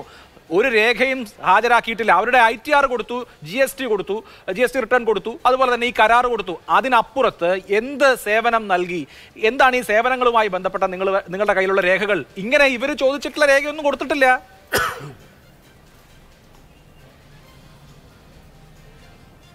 ഇല്ല അതിനെ സംബന്ധിച്ച് നടക്കട്ടെ. ഞാൻ പറഞ്ഞല്ലോ ഇപ്പോൾ അവർ പറഞ്ഞു അങ്ങ് അങ്ങയുടെ ചോദ്യത്തിന്റെ ഭാഗമായി വിസ്തീരിച്ച് ഞാൻ തൊട്ടില്ല എന്ന് പറഞ്ഞല്ലോ. കമ്പനീസ് ആക്ട് സെക്ഷൻ നാനൂറ്റി നാൽപ്പത്തി ഏഴ് നാനൂറ്റി നാൽപ്പത്തെട്ട് നാനൂറ്റി നാൽപ്പത്തി ഒമ്പത് ഇതിന്റെ വയലേഷൻ അതോടൊപ്പം ഞാൻ പറയുന്നു ഇവരിപ്പോ പിന്നീട് ആരോപണം ഉന്നയിക്കുന്നതാണ്. ഇതിന്റെ ഭാഗമായി തന്നെ അതിനോട് ചേർന്ന് പറ- പറയുന്ന ഒരു കാര്യമാണ് കമ്പനി വൈൻഡപ്പ് ചെയ്യുന്നതിനെ സംബന്ധിച്ച്.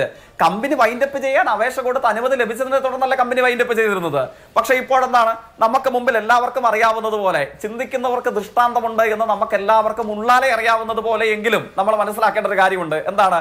ഇപ്പൊ കർണാടക കേന്ദ്രീകരിച്ചുകൊണ്ട് ഇത്തരത്തിൽ എം ഒ സിക്ക് കീഴിലുള്ള ഈ അന്വേഷണ സംഘം അവർക്ക് പുതിയ താല്പര്യങ്ങൾക്ക് അനുസൃതമായ ഒരു തിരക്കഥ ചമയ്ക്കുകയാണ്. ഞാൻ പറഞ്ഞല്ലോ അതിനെ രാഷ്ട്രീയമായി മാത്രം നേരിടുകയല്ല നിയമപരമായും രാഷ്ട്രീയമായും നേരിടും. അതുകൊണ്ടാണ് ഞാൻ തൊട്ടു മുമ്പ് മൂവാറ്റുപുഴ വിജിലൻസ് കോടതിയിലെ കേസിനെ സംബന്ധിച്ച് ചൂണ്ടിക്കാണിച്ചത്. ആ മൂവാറ്റുപുഴ വിജിലൻസ് കോടതിയുടെ കേസിന്റെ വിധി എന്തായിരുന്നു? ഇപ്പോൾ ഹൈക്കോടതിയുടെ സമക്ഷത്തിൽ നിൽക്കുന്ന കേസിൽ ഉണ്ടായിട്ടുള്ള മറ്റ് പ്രൊസീഡിങ്സ് എന്താണ്? ഇനി interim settlement board C M അതേപോലെ തന്നെ ഐ ടി ഡിപ്പാർട്ട്മെന്റിനെ സംബന്ധിച്ച് കേട്ടു എന്നൊക്കെ പറഞ്ഞില്ലേ? ആ ഇന്റർ ബോർഡിന്റെ വിധി പ്രസ്താവം എന്തായിരുന്നു? Given immunity to C M R L from all such prosecution proceedings അങ്ങനെയല്ലേ? പ്രോസിക്യൂഷന്റെ എല്ലാ വിധത്തിലുള്ള ഭാവി പ്രവർത്തനങ്ങളിൽ നിന്നും സി എം ആറിൽ ഇമ്മ്യൂണിറ്റി കൊടുത്തു. അതല്ലേ? അതോടൊപ്പം ഇനി ഫർദർ ടാക്സ് ഇമ്പോസ് ചെയ്യുന്നതിന് ഫർദർ പണിഷ്മെന്റ് ഇമ്പോസ് ചെയ്യുന്നതിന് ഇൻട്രീം സെറ്റിൽമെന്റ് തടസ്സം സൃഷ്ടിച്ചു. അല്ലെങ്കിൽ ഇത് പറ്റില്ല ആ എന്ന് പറഞ്ഞ പ്രഖ്യാപിച്ചു. അത് നമ്മൾ കണ്ടതല്ലേ? അപ്പൊ ഇതെല്ലാം വായിക്കുമ്പോൾ നടപടികൾക്കല്ലേ Shri ജേക്സി Thomas? I T act അനുസരിച്ചുള്ള നടപടികൾക്ക് താങ്കൾ പറഞ്ഞതുപോലെ സി എം ആർ എൽ കമ്പനിക്ക് ഇമ്മ്യൂണിറ്റി കൊടുത്തു. ഇവിടെ ആർ ഒ സി പറയുന്നത് എന്താണ്? P M L A act അനുസരിച്ച് അന്വേഷിക്കണം. പി സി ആക്ട് അനുസരിച്ച് പ്രിവെൻഷൻ ഓഫ് കറപ്ഷൻ ആക്ട് അനുസരിച്ച് അന്വേഷിക്കണം. ആ നടപടിക്രമങ്ങളിൽ നിന്ന് ആർക്കും ഒരു ഇമ്മ്യൂണിറ്റിയും എവിടെ നിന്നും കിട്ടില്ല. ഉപ്പ് തിന്നാൽ വെള്ളം കുടിക്കണം. ഞാൻ പറഞ്ഞല്ലോ അതിനെ നിയമപരമായി തന്നെ നേരിടാന്നേ ഇപ്പോൾ ആർ ഒ സി ഇത് എന്തുകൊണ്ട് പറയുന്നു? കമ്പനീസ് ആക്ട് പ്രകാരം കമ്പനീസ് ആക്ട് പ്രകാരം കമ്പനി നിയമങ്ങളുടെ കീഴിൽ വരുന്നതാണോ ഇത്തരം പരിശോധന? കമ്പനികൾ തമ്മിൽ കൊടുത്തിട്ടുള്ള സർവീസ് പ്രൊവൈഡിങ്സിനെ സംബന്ധിച്ച് അതിന്റെ ഗുണനിലവാരത്തെ സംബന്ധിച്ച് അന്വേഷണ അന്വേഷിക്കാൻ ബാധ്യതയേറ്റ പ്രതിജ്ഞാബദ്ധമായ ഉത്തരവാദിത്തമുള്ള സംഘമാണോ ആർ ഒ സി അങ്ങേക്ക് അറിയാവുന്നതല്ലേ പക്ഷേ എന്നാ അവർക്ക് ഇപ്പൊ പുതിയ താല്പര്യത്തിന്റെ ഭാഗമായി ഇങ്ങനെയൊക്കെ എഴുതി വെക്കുകയാണ്. നാനൂറ്റി നാൽപ്പത്തി ഏഴ് നാനൂറ്റി നാൽപ്പത്തെട്ട് നാനൂറ്റി നാൽപ്പത്തി ഒമ്പത് ഇത് സമർപ്പിച്ചിട്ടില്ല. എന്നിത്യാദിയുള്ള പുതിയ വിവരങ്ങൾ മറ്റു പലരുടെയും ആവശ്യപ്രകാരം എഴുതി വെക്കുകയാണ്. കർണാടകയിൽ നിന്നുള്ള ഇത്തരത്തിലുള്ള കേന്ദ്ര സർക്കാർ സംഘങ്ങൾ എത്രയോ ആവർത്തി ആരെയൊക്കെ കുറിച്ച് ഇങ്ങനെയൊക്കെ എഴുതി വെച്ചു എന്നുള്ളതിന് കാലം ദൃഷ്ടാന്തമല്ലേ? ഇതേ ചാനൽ മുറിയിലിരുന്ന് നമ്മൾ എത്ര കാലം സഖാവ് കൊടിയേരി ബാലകൃഷ്ണന്റെ മകനെ സംബന്ധിച്ച് കർണാടകയിലെ കേന്ദ്ര അന്വേഷണ ഒടുവിൽ കർണാടക ഹൈക്കോടതിയുടെ നടപടിയാണ് എന്നുള്ളതല്ലേ വാദം? ഓക്കെ എനിക്ക് ആ വാദം മനസ്സിലായി. ശ്രീ പി ആർ ശിവശങ്കർ പിന്നെ ഇപ്പൊ ഞാൻ ചോദിക്കാൻ ആഗ്രഹിക്കുന്ന കാര്യം ഒരു കോടി എഴുപത്തിരണ്ട് ലക്ഷം രൂപ വീണ തൈക്കണ്ടിയിലും കമ്പനിക്കും കൂടി കിട്ടിയത് ഫ്രോഡ്ലൻഡ് മീൻസ് വഴിയാണ് എന്ന് കാണുന്നു. അതേക്കുറിച്ച് അന്വേഷണം ശുപാർശ ചെയ്യുന്നു. കമ്പനി ആക്ട് അനുസരിച്ചുള്ള പരിശോധനകൾ നടക്കുന്നു. ഓക്കെ ആ കാര്യത്തിൽ ബോധ്യമുണ്ട്. പക്ഷെ അത് മാത്രമല്ലല്ലോ ഈ കരിമണൽ കമ്പനി അല്ലെങ്കിൽ ശശിധരൻ കർത്ത കേരളത്തിലെ രാഷ്ട്രീയ ബന്ധമുള്ള ആളുകൾക്ക് കൊടുത്ത ആകെ തുക ഈ ഒരു കോടി എഴുപത്തിരണ്ട് ലക്ഷം രൂപയല്ല. രണ്ടായിരത്തി പതിമൂന്ന് മുതൽ രണ്ടായിരത്തി പത്തൊൻപത് വരെ തൊണ്ണൂറ്റിയഞ്ച് കോടി ആറ് ലക്ഷം രൂപ രാഷ്ട്രീയക്കാർക്കും രാഷ്ട്രീയ ബന്ധമുള്ളവർക്കും ശശിധരൻ കർത്ത കൊടുത്തതായി ആദായ നികുതി വകുപ്പ് കണ്ടെത്തുകയും ഇതേക്കുറിച്ച് അന്വേഷണം വേണമെന്ന് ആദായ നികുതി വകുപ്പ് ആവശ്യപ്പെടുകയും ചെയ്തിട്ടുണ്ട്. അതിലൊരു ചെറിയ ലിസ്റ്റേ വന്നിട്ടുള്ളൂ പ്രമുഖ നേതാക്കളുടെ ലിസ്റ്റ്. പക്ഷെ വലിയ ലിസ്റ്റാണ് ആ ലിസ്റ്റിൽ പല ആളുകളുണ്ട്. എന്തുകൊണ്ടാണ് കർത്തയുടെ കയ്യിൽ നിന്ന് ആരൊക്കെ പണം വാങ്ങിച്ചിട്ടുണ്ട് എന്തിനു വാങ്ങിച്ചിട്ടുണ്ടെന്ന് അന്വേഷിക്കാത്തത്? അത് അന്വേഷിക്കാൻ എന്താണ് ഇത്ര വൈമുഖ്യം?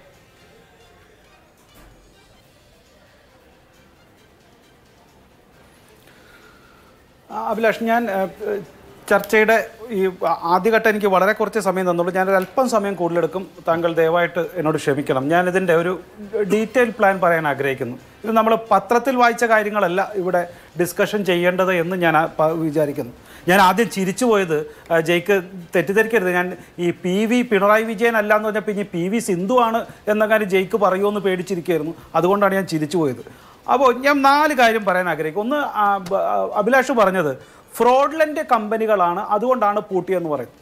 അപ്പോൾ വേണമെങ്കിൽ ചർച്ചയ്ക്ക് വെക്കാം. ഒരു മൂന്ന് ലക്ഷത്തി എൺപത്തിരണ്ടായിരം കമ്പനികൾ ഇത്തരത്തിലുള്ള ഫ്രോഡ് കമ്പനികൾ ഷെൽ കമ്പനികൾ പൂട്ടിയിട്ടുണ്ട്. അവയ്ക്ക് എല്ലാത്തിനുമെതിരെ കേസില്ല. ഇത്തരത്തിൽ ഷെൽ കമ്പനികളായിട്ട് പണം തട്ടിപ്പ് നടത്തിയ ഷെൽ കമ്പനികൾക്കെതിരായിട്ടാണ് ഇത്തരത്തിലുള്ള അന്വേഷണവും കേസും കാര്യവും വന്നത് എന്ന് നമുക്കറിയാം. അത്തരത്തിലുള്ള കേസുകളുടെ കാര്യങ്ങളാണ് നമ്പറുകളാണ് സെക്ഷനുകളാണ് നമ്മളിപ്പോൾ നിരന്തരം ഇപ്പോൾ ചർച്ച ചെയ്തിരുന്നത്. അതിന്റെ കൂടെ ഒരു കാര്യം കൂടെ പറയട്ടെ. രണ്ടാമതായിട്ട് ശ്രീ ജയ്ക്ക് പറഞ്ഞ ഒരു കാര്യം ശരിയല്ല. ജഡ്ജി ഓപ്പൺ കോർട്ടിൽ പറഞ്ഞോ? അങ്ങനെ ഒന്നും പറഞ്ഞില്ലല്ലോ എന്ന് പറയാൻ. ജഡ്ജിയോ അല്ലെങ്കിൽ അത്തരത്തിൽ കോടതിയോ ഈ കാര്യങ്ങൾ അന്വേഷിക്കുന്നില്ല. അന്വേഷിക്കുന്നത് ഏജൻസികളായ ഇപ്പോൾ ഈ ആർ ഒ സിയുടെ ഏജൻസിയും പ്രൈമറി അന്വേഷിക്കുന്നത് ഈ ഏജൻസിയും അവരാണ് ഇത്തരത്തിലുള്ള കൊണ്ടുവരുന്നത്. ഈ ഡീറ്റെയിൽ അല്ലെങ്കിൽ ഈ ഡാറ്റ ഈ ഈ തെളിവുകൾ ഇത് കോടതിയിൽ പോകുമ്പോൾ മാത്രമാണ് കോടതിക്ക് അത് ശരിയാണോ തെറ്റാണോ എന്ന് പറഞ്ഞ് ആ തെറ്റിനെ ഒരു വിധിന്യായത്തിലൂടെ ഒരു ജഡ്ജ്മെന്റിലൂടെ പുറത്ത് കൊണ്ടുവരാൻ സാധിക്കുകയുള്ളൂ. വിധി കർപ്പിക്കാൻ പറ്റുള്ളൂ ആ ശിക്ഷ നൽകാൻ പറ്റുള്ളൂ അതുകൊണ്ട് ഇപ്പോൾ കോടതി അങ്ങനെ പറഞ്ഞില്ല എന്നുള്ളത് കൊണ്ട് ഈ എക്സാലോജിക്കും അതിന്റെ സംരംഭകയും കുറ്റവിമുക്തരാകുന്നില്ല എന്നുകൂടി പറയാൻ ഞാൻ ആഗ്രഹിക്കുന്നു. അപ്പോൾ ഇവിടെ സെക്ഷന്റെ കാര്യങ്ങൾ ഞാൻ പറയാട്ടോ. മൂന്ന് ഈ കെ എസ് ഐ ഡി സിയുമായിട്ട് ബന്ധപ്പെട്ട് നമ്മൾ ചർച്ച ചെയ്യുമ്പോൾ അതിനെ കുറച്ച് കാണിക്കരുത് Abhilash. K S I D സിക്ക് പതിനാല് ശതമാനം പതിമൂന്ന് പോയിന്റ് ആറ് അഞ്ച് ശതമാനം ഒറ്റ ഷെയർ ഉണ്ട് എന്ന് വിചാരിക്കുന്നു. നമുക്കറിയാം ഈ സി എം ആർ എല്ലിന്റെ എക്സ്പെൻസസ് ഫ്രോഡ്ലന്റ് ആയിട്ട് ഒരുപാട് ഇപ്പോൾ തൊണ്ണൂറ്റഞ്ച് കോടി എന്നുള്ളതല്ല അതിന്റെയൊക്കെ എത്രയോ ഇരട്ടി എക്സാജറേറ്റ് ചെയ്ത് കാണിച്ചു. അത് എക്സാലോജിക്കിനോടത്തൊക്കെ ചെറിയ എമൗണ്ട് വലിയ രീതിയിൽ എക്സാജറേറ്റ് കാണിച്ചു എന്നുള്ളത് ഒരു വലിയ കുറ്റമാണ് എങ്കിൽ. ഇനി ഞാൻ ചോദിക്കാൻ ആഗ്രഹിക്കുന്നത് അതിന്റെ പതിമൂന്ന് ശതമാനം ഇപ്പോൾ ഒരു നൂറ് കോടിയോ ഇരുന്നൂറ് കോടിയാണ് എക്സാഗ്രേറ്റ് ചെയ്ത് കാണിച്ചിട്ടുണ്ടെങ്കിൽ അതിന്റെ പതിമൂന്ന് പതിനാല് ശതമാനം സംസ്ഥാന സർക്കാരിന് കിട്ടേണ്ടതായിരുന്നു ആ പണം മേടിക്കുവാൻ. ഇതുവരെ K S I D C എന്തുകൊണ്ട് ഒരു കത്ത് പോലും അയച്ചില്ല? അല്ലെങ്കിൽ ഇത്തരത്തിലുള്ള കേസ് ഉണ്ടായപ്പോൾ പോലും എന്തുകൊണ്ട് ഒരു കത്ത് അയച്ചില്ല? അതിനുള്ള ശ്രമം നടത്തിയില്ല. മൂന്ന് ഇത് R O C K S I D സിക്ക് ഒരു കത്തയച്ചപ്പോൾ പോലും മറുപടി പോലും അയച്ചില്ല എന്ന് പറയുന്നു. ഇപ്പോൾ നേരത്തെ ഒരു ചർച്ചയ്ക്ക് വന്നിട്ട് ഒരാൾ എന്നോട് പറഞ്ഞിരുന്നു അത് രജിസ്റ്റർ ഓഫ് കമ്പനീസിന് മറുപടി അയച്ചത് സ്പീഡ് പോസ്റ്റ് വഴിയാണ്. അപ്പോൾ അക്നോളജ്മെന്റ് ഇല്ലേ? അതില്ല. അതെന്താ ട്വീറ്റ് ചെയ്യാത്ത? അതില്ല. അപ്പോൾ ഇത്തരത്തിൽ ഒരു സത്യസന്ധമായി ഇവിടത്തെ സംസ്ഥാന സർക്കാരിന് ഈ കേസിൽ ഇടപെടാൻ താല്പര്യമില്ല എന്ന് കാണിക്കുന്നത് ധാർമ്മികമായി സംസ്ഥാന സർക്കാരിന് ഈ പണമിടപാടിൽ വേണ്ടത്ര തുക കിട്ടിയിട്ടുണ്ട്. അല്ലെങ്കിൽ അതിന്റെ നേതാക്കൾക്ക് ഈ കേസിൽ ജനങ്ങൾക്ക് കിട്ടേണ്ട പണം മേടിക്കുവാൻ താല്പര്യമില്ല എന്ന് തന്നെയാണ്. അപ്പോൾ ധാർമ്മികമായി സി പി എമ്മിനും ഈ കേരളത്തിലെ ഭരണകക്ഷിക്കും ഭരണ എൽ ഡി എഫിനും ഈ പണം കിട്ടിയിട്ടുണ്ട്. അതുകൊണ്ടാണ് കെ എസ് ഐ ഡി സിയെ കുറിച്ച് ചെയ്യാത്തത്. അല്ലെങ്കിൽ കെ എസ് ഐ ഡി സിക്കെതിരെ നടപടിയെടുക്കുവാൻ തയ്യാറാവണം. രണ്ട് മൂന്നാം മൂന്നാമത്തെ പ്രധാനപ്പെട്ട കാര്യം. ഞാൻ വിശ്വസിക്കുന്നത് ഈ പറയുന്ന സി എം ആർ എൽ ഒരു ചെറിയ മീനാണ്. സി എം ആർ എല്ലും ഈ പറഞ്ഞ എക്സാലോജിക്കിന്റെ ഒന്ന് പോയിന്റ് ഏഴ് അഞ്ച് കോടിയും വളരെ ചെറിയ കേസായിട്ടാണ് ഞാൻ മനസ്സിലാക്കുന്നത്. കാരണം ഈ ഇപ്പോൾ സി എം എല്ലിൽ നിന്ന് മേടിച്ച ഒന്ന് പോയിന്റ് ഏഴ് അഞ്ച് കോടി രൂപയുടെ ഈ പറയുന്ന കേസുകളൊക്കെ എടുത്താലും ഇത് പലതും മാക്സിമം പോയാൽ ഒരു ലക്ഷം തൊട്ട് ഓരോ ക്രിമിനൽ കേസിനും ഒരു ലക്ഷം തൊട്ടിട്ട് ഏഴ് കേസുകളൊക്കെ എടുത്തേക്കുന്നത്. അപ്പോൾ ഏഴ് ലക്ഷം വിധിക്കാം. അതല്ലെങ്കിൽ എന്തെങ്കിലും രീതിയിലുള്ള ഒരു ഒരു പെനാൽറ്റി വേറെ വിധിക്കാം. ഞാൻ മനസ്സിലാക്കുന്നത് ഇതിൽ ഈ പറയുന്ന സംരംഭകയ്ക്കോ അല്ലങ്ങർക്കോ അവർക്ക് നോൺ ബെയിലബിൾ അല്ല. പുരുഷനാണെങ്കിൽ നോൺ ബെയിലബിൾ ആണ് സ്ത്രീ ആണെങ്കിൽ ബെയിലബിൾ ആണ് എന്നാണ് ഞാൻ മനസ്സിലാക്കുന്നത്. അപ്പോൾ ബെയിൽ കിട്ടാം. പക്ഷേ അവിടെ അതല്ല പ്രശ്നം. ഏജൻസിക്ക് ഈ പറഞ്ഞ സെക്ഷൻ നമ്പർ സിക്സ്റ്റീൻ ഒക്കെ പ്രകാരം gives an authority to enter any place if they have a reason to believe that among the laundering offense has been committed. വീണ വിജയന്റെ അഡ്രസ്സ് ഏതാണെന്ന് നമുക്കറിയാലോ? പുറത്തേക്കുന്ന അഡ്രസ്സിൽ വെച്ചിട്ട് ഇത്തരത്തിലുള്ള മണി ലോണ്ടറിങ് നടന്നുവെന്ന് സംശയമുണ്ടായാൽ സംസ്ഥാനത്തെ ഒരു പ്രമുഖ ഏറ്റവും പ്രമുഖനായ മുഖ്യമന്ത്രിയുടെ വീട്ടിലേക്ക് ഡി കയറി വന്നാൽ ധാർമ്മികമായി സി പി എം എന്ത് പറയും? അന്ന് സി പി എമ്മിന് എന്ത് പറയാൻ സാധിക്കും? കാരണം ഇത് കൃത്യമായിട്ട് എഴുതി വെച്ചിരിക്കുകയാണ്. ഒഫൻസ് ഹാപ്പനിങ് അങ്ങനത്തെ ഒരു സ്ഥലത്തേക്ക് കൃത്യമായി ഇടിക്ക് ചെല്ലാൻ പറ്റും. സെക്ഷൻ നമ്പർ സിക്സ്റ്റീൻ ഇതെല്ലാം ഇതിനകത്ത് പെടുകയില്ല. ഈ ഫോർ ഫോർട്ടി സെവൻ മാത്രമല്ല. അതിന്റെ ഭാഗമായിട്ട് കമ്പനീസ് ആക്ട് പ്രകാരം വേണം അല്ലെങ്കിൽ പി എം എൽ എ ശുപാർശ ചെയ്തിരിക്കുന്നല്ലോ. ഒരു കാര്യം കൂടി. ഇ ഡി ഇടപെടുമായിരിക്കും. ഈ പറഞ്ഞതുപോലെ ഇ ഡി പോകുമായിരിക്കും. ശരി ഓക്കെ. അതിപ്പോ എൻഫോഴ്സ്മെന്റ് ഡയറക്ടറേറ്റിനും ചെയ്യാവുന്ന കാര്യമാണ്. ഞാൻ ചോദിച്ച ചോദ്യം എന്താണെന്ന് വെച്ചാൽ ഈ പറഞ്ഞ സി എം ആറിൽ ഈ ഒരു കോടി എഴുപത്തിരണ്ട് ലക്ഷം മാത്രമല്ല ചെലവാക്കിയിരിക്കുന്നത്. സി എം ആറിൽ നിന്ന് പൈസ വാങ്ങാത്തവരാരൊക്കെ പൈസ വാങ്ങിയവരാരൊക്കെ ഇന്ന് നമുക്ക് കേരളത്തിലെ ജനങ്ങൾക്ക് തിരിയണമല്ലോ. ആരൊക്കെ വാങ്ങിച്ചിട്ടുണ്ട്? ഏതൊക്കെ സ്ഥാപനങ്ങൾ വാങ്ങിച്ചിട്ടുണ്ട്? ഏതൊക്കെ വ്യക്തികൾ വാങ്ങിച്ചിട്ടുണ്ട്? ഇത് ഇങ്ങനെ ഒരു ഈ തരത്തിലുള്ള ഏർപ്പാടാണ് എന്ന് ആദായ നികുതി വകുപ്പ് കണ്ടെത്തുകയും അത് റിപ്പോർട്ട് ചെയ്യുകയും ചെയ്തിട്ടുണ്ടല്ലോ. എന്തുകൊണ്ടാണ് സി എം ആർ എല്ലിന്റെ ഈ തരത്തിലുള്ള കൈയച്ചുള്ള പണം കൊടുപ്പിനെ കുറിച്ച് ഒരു ചർച്ച നടത്താത്തത് അതേക്കുറിച്ച് ഒരു അന്വേഷണം നടത്താത്തത് എന്നുള്ളതാണ് ഇപ്പോൾ എന്റെ മുമ്പിലുള്ള പ്രശ്നം. എന്തായാലും വീണയുടെ കാര്യം ഈ പറഞ്ഞ റിപ്പോർട്ട് അനുസരിച്ച് എൻഫോഴ്സ്മെന്റ് ഡയറക്ടറേറ്റും ഒരുപക്ഷെ സി ബി ഐ തന്നെയും പരിശോധിക്കുമെന്ന് വിശ്വസിക്കാം. ബാക്കിയുള്ളതോ? എക്സ്പ്ലെയിൻ explain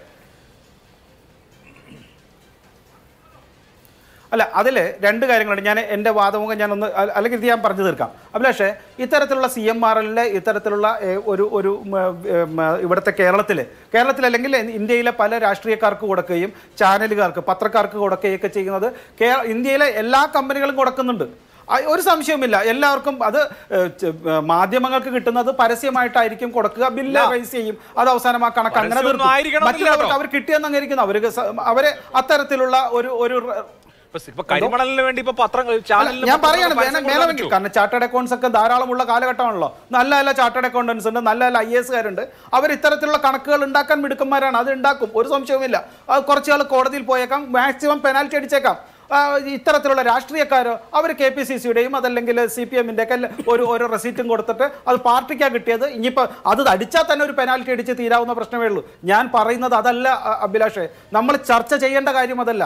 ഇത് സി എം ആറിൽ ഒരു ചെറിയ മീനാണെന്ന് പറയാൻ ഞാൻ കാരണം. ഇതൊരു കേസിന്റെ തുടക്കമാണ്. ഈ കേസ് ഈ ക്രൈം തന്നെ ഈ കേസിന് ഉദാഹരണമായ ക്രൈം തന്നെ ഡിസൈൻ ചെയ്തിരിക്കുന്നത് ഒരു ചെറിയ ബുദ്ധിയല്ല. ഞാൻ മനസ്സിലാക്കുന്നത് കേരളത്തിലെ എൽ ഡി എഫ് നേതാക്കൾക്കൊന്നും ഇത്രയേറെ ക്രൈം ഇങ്ങനെയേറെ ഒരു പി എം എൽ എ കേസിൽ പെടാണ്ട് ഇത്ര വരെ നടത്താനുള്ള ബുദ്ധിയൊന്നും ഉണ്ടെന്ന് ഞാൻ വിശ്വസിക്കുന്നില്ല. ജയിക്കിനൊക്കെ ഉണ്ടായേക്കാം പുതിയ തലമുറയ്ക്ക് ഉണ്ടായേക്കാം. പഴയ തലമുറയിലെ സി പി എം നേതാക്കൾക്കൊന്നും ഇത്തരത്തിൽ ക്രൈം ഡിസൈൻ ചെയ്യാനുള്ള ഒരു ബുദ്ധി ഇല്ല എന്ന് ഞാൻ വിശ്വസിക്കുന്നു. ദയവായിട്ടെങ്കിൽ എന്നെ തെറ്റിദ്ധരിക്കാൻ എനിക്കെതിരെ മാനനഷ്ട കേസ് കൊടുക്കരുത് കേട്ടോ. ഞാൻ അങ്ങനെ പറഞ്ഞു എന്ന് പറഞ്ഞിട്ട്. രണ്ട് അപ്പൊ കേസ് അന്വേഷണവും അത്തരത്തിലുള്ള ഒരു ഡിസൈനിങ്ങും ഒരു ഒരു സിസ്റ്റം ഇൻവെസ്റ്റിഗേഷൻ അങ്ങനെ പോകേണ്ടി വരും. ഞാൻ മനസ്സിലാക്കുന്നത് സി എം ആർ അല്ല. സി എം ആർ എല്ലിന്റെ കേസ് കിട്ടി എന്നുള്ളത് കൊണ്ട് ഈ പറയുന്ന എക്സ്ട്രാ ലോജിക്കിന്റെ ഒക്കെ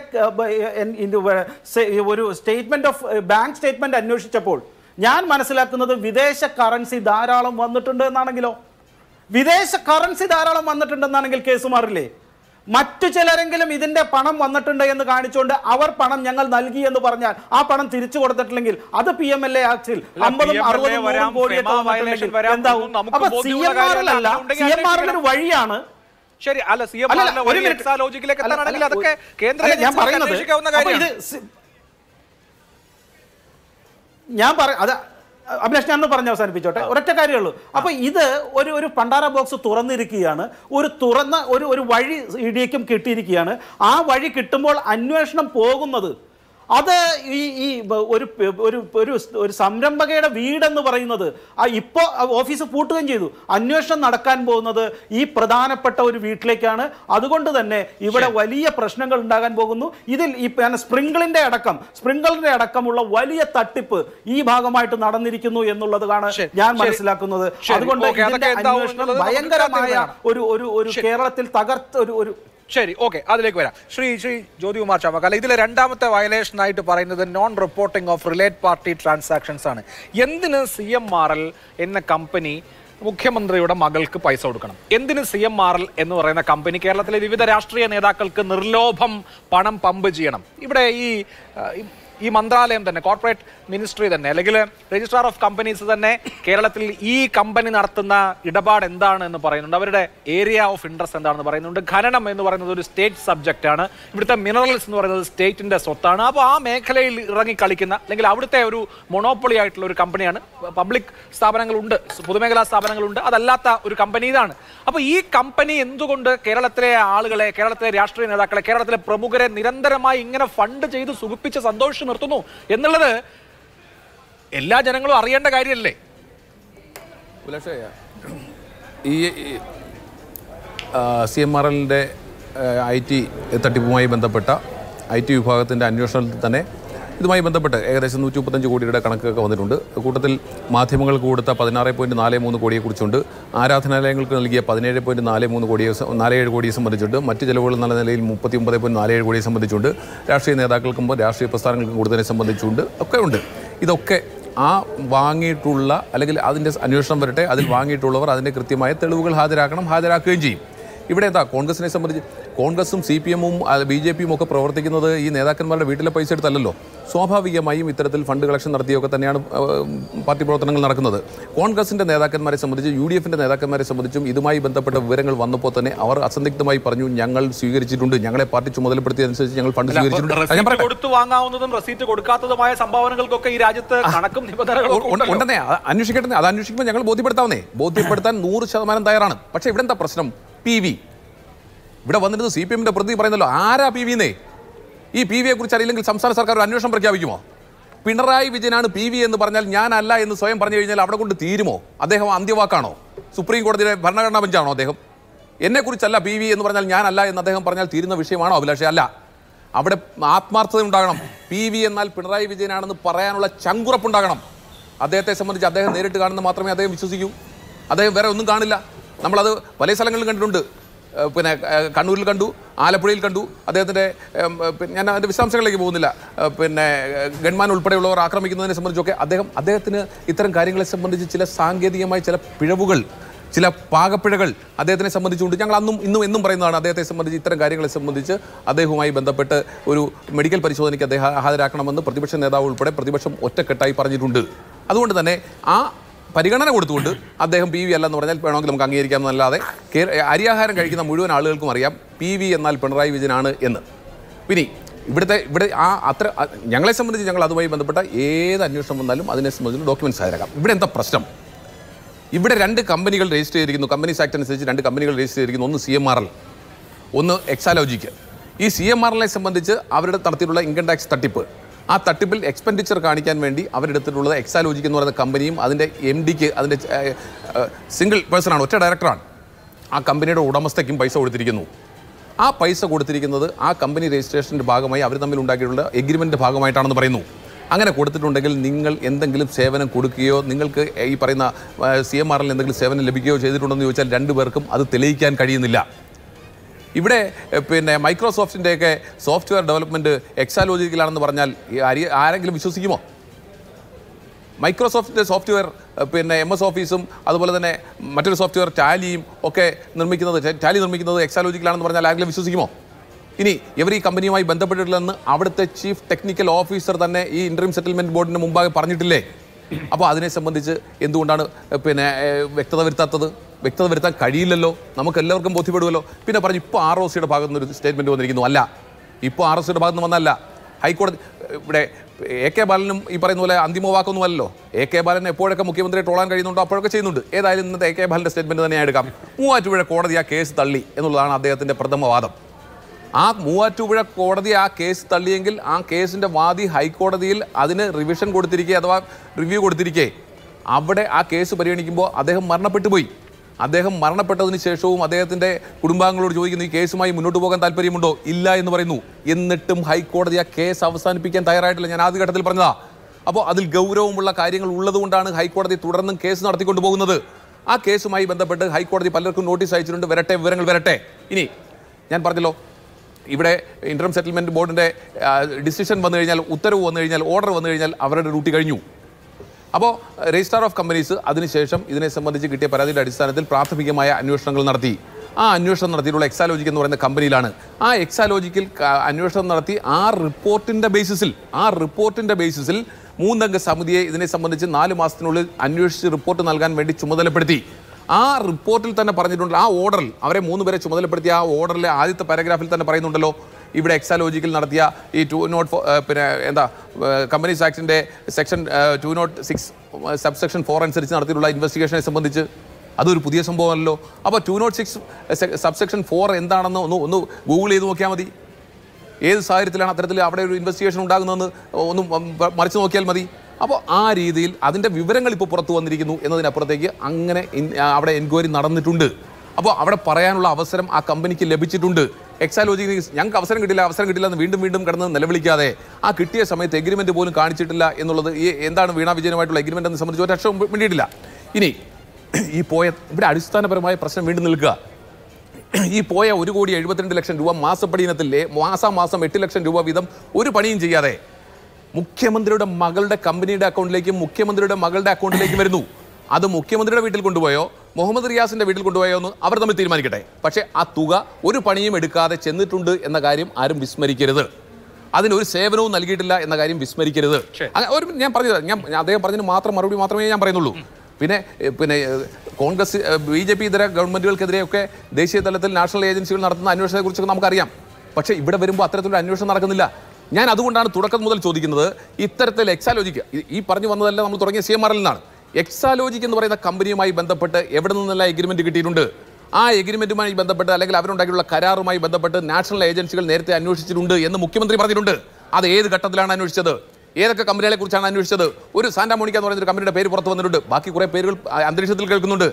ആ പേരുകൾ ഏതൊക്കെ ഘട്ടത്തിലാണ് അന്വേഷിച്ചത്? അദ്ദേഹം പറഞ്ഞു പിന്നെ എന്താ വിഘടന പ്രവർത്തനം നടത്തുന്ന സംഘടനയുമായി ബന്ധപ്പെട്ട് എന്നൊക്കെ മുഖ്യമന്ത്രിയെ പറഞ്ഞ നമ്മളാരുമല്ല. അങ്ങനെ ഉണ്ടെങ്കിൽ ഏത് ഘട്ടത്തിലാണ് മുഖ്യമന്ത്രി അത്തരത്തിലൊരു സ്റ്റേറ്റ്മെന്റ് പറഞ്ഞത്? അതിനെ സംബന്ധിച്ച് മുഖ്യമന്ത്രി പറയണ്ടേ? പിന്നെ പറഞ്ഞ മറ്റൊരു കാര്യം. ഈ കമ്പനി വൈൻഡപ്പ് ചെയ്യുന്നതുമായി ബന്ധപ്പെട്ട്. കമ്പനി വൈൻഡപ്പ് ചെയ്യാൻ അനുമതി കിട്ടിയിട്ടല്ലേ companies of register of companies നിന്ന് അനുമതി കിട്ടിയിട്ടല്ലേ കമ്പനി വൈൻഡപ്പ് ചെയ്യുന്നതാണ്. കമ്പനി വൈൻഡപ്പ് ചെയ്യാൻ കൊടുത്ത ഡോക്യുമെന്റ്സ് കമ്പനി വൈൻഡപ്പ് ചെയ്യാൻ ചെയ്ത് കൊടുത്തുള്ള സമ്മതപത്രം അതിലൊക്കെ കള്ളത്തരങ്ങൾ പറഞ്ഞിട്ടുണ്ട്. രണ്ടായിരത്തി പത്തൊമ്പത് മുതൽ ഇവിടെ ഇൻവെസ്റ്റിഗേഷൻ നടക്കുകയും ഈ പറയുന്ന ഇന്റർം സെറ്റിൽമെന്റ് ബോർഡിന്റെ പിന്നെ വിധി വരികയും തുടർന്ന് അന്വേഷണം നടക്കുകയും ചെയ്തുകൊണ്ടിരിക്കുമ്പോൾ തന്നെ രണ്ടായിരത്തി ഇരുപത്തിരണ്ടിൽ നിങ്ങൾ വ്യാജമായി ഇതുമായി ബന്ധപ്പെട്ട് ഒരു കേസ് നിലവിലില്ല എന്ന് പറഞ്ഞുകൊണ്ട് വ്യാജ സത്യവാങ്മൂലം കൊടുത്തുകൊണ്ടാണ് ആ കമ്പനി ക്ലോസ് ചെയ്യാൻ തീരുമാനിച്ചിട്ടുള്ളത്. മാത്രമല്ല കമ്പനിയുടെ ആസ്ഥാനം മാറ്റുമ്പോൾ ആ പിന്നെ രജിസ്റ്റർ ഓഫ് കമ്പനീസിനെ അറിയിക്കണമെന്ന മുപ്പത് ദിവസത്തിനുള്ളിൽ അറിയിക്കണം എന്നുള്ള കണ്ടീഷൻ ഉൾപ്പെടുത്തി തെറ്റിച്ചിട്ടുണ്ട്. ഇവിടെ സി എം ആറിനെ പ്രോസിക്യൂഷന്റെ ഭാഗത്ത് നിന്ന് ഒഴിവാക്കി എന്ന് പറയുന്നത് interim settlement board interim settlement ബോർഡിന്റെ ഭാഗമായിട്ട് അത്തരത്തിലുള്ള നടപടിക്രമങ്ങളുടെ ഭാഗമായി അവർ രണ്ട് കൂട്ടരെയും കേട്ടതിന് ശേഷം ഫൈനൽ ജഡ്ജ്മെന്റിലേക്ക് എത്തുമ്പോഴാണ് പറയുന്നത് അവിടെ കൊണ്ട് അവസാനിക്കുകയല്ല അവിടെ കൊണ്ട് ആരംഭിക്കുകയാണ്. അവിടെ വന്നിട്ടുള്ള വിഷയങ്ങളെ സംബന്ധിച്ച് അവിടെ വന്നിട്ടുള്ള വിഷയം എന്താണ്? ഏറ്റവും പരമപ്രധാനമായിട്ടുള്ളത് ഇത്തരത്തിൽ മറ്റൊരു കമ്പനി ഏതാ? എക്സാലോജിക്ക് മറ്റൊരു വ്യക്തി ആരാ? വീണ വിജയൻ. ഇവർ രണ്ടുപേരും പ്രതിവർഷം അവർ രണ്ടുപേരും കൂടെ ചേർന്ന് ഒരു കോടി എഴുപത്തിരണ്ട് ലക്ഷം രൂപ കൈക്കലാക്കിയിട്ടുണ്ട്. അത് നിയമവിരുദ്ധമാണ് എന്ന് കണ്ടുകൊണ്ടാണ് ആ ഇൻട്രീം സെറ്റിൽമെന്റ് ബോർഡിന്റെ ആ വിധി ഉണ്ടാകുന്നത് എന്ന കാര്യത്തിൽ ഒരു തർക്കവും വേണ്ട.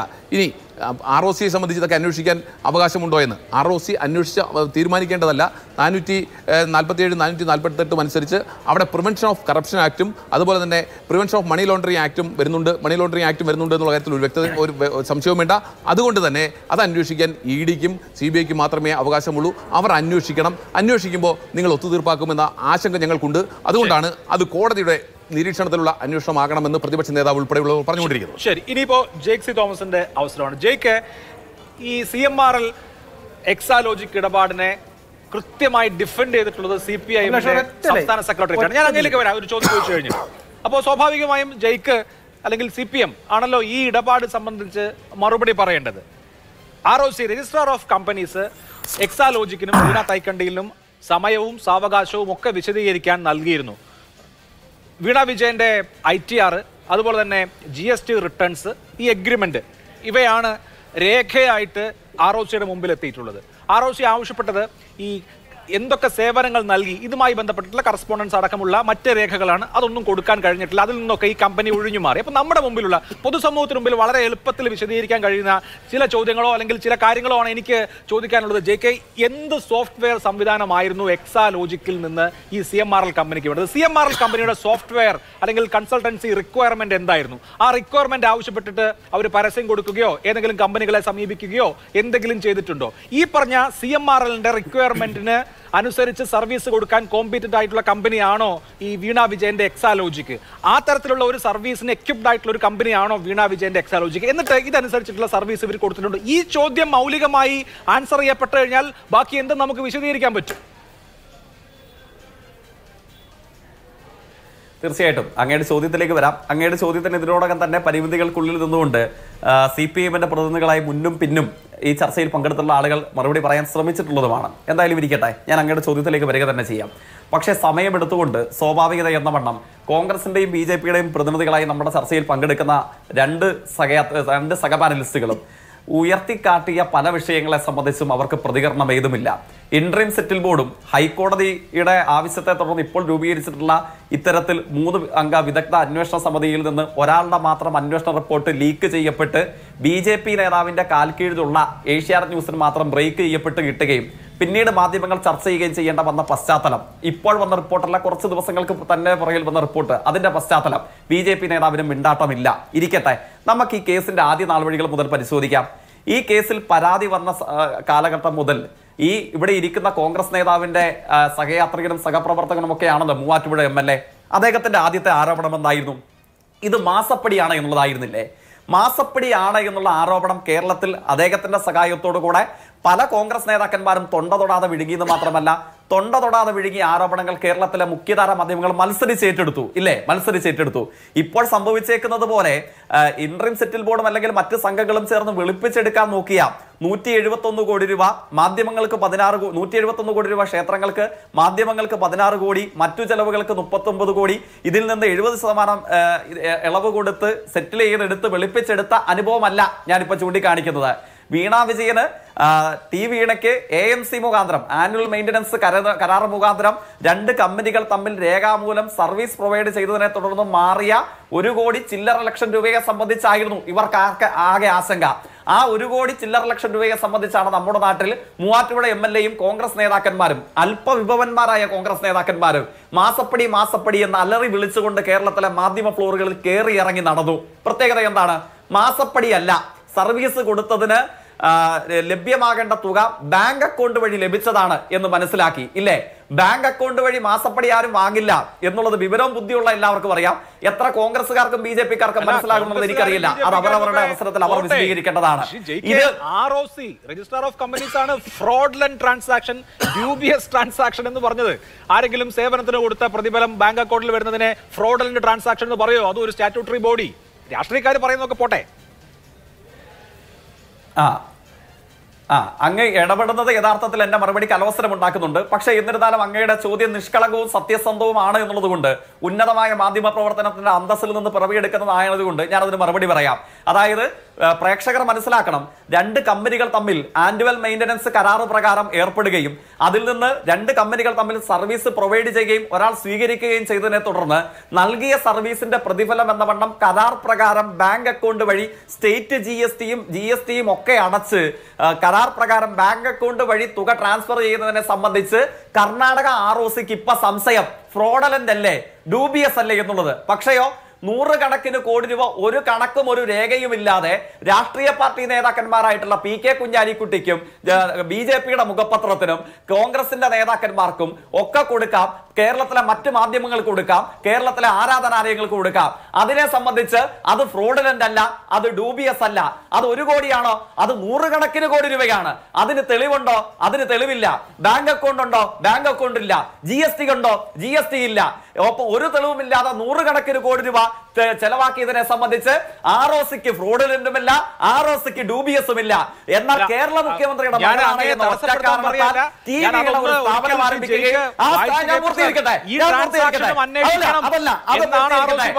അത് ഇത് മര്യാദകേടാണ്. ഇത് മര്യാദകേടാണ്. ഇത് മര്യാദകേടാണ് അങ്ങ് കാണിക്കുന്നത്.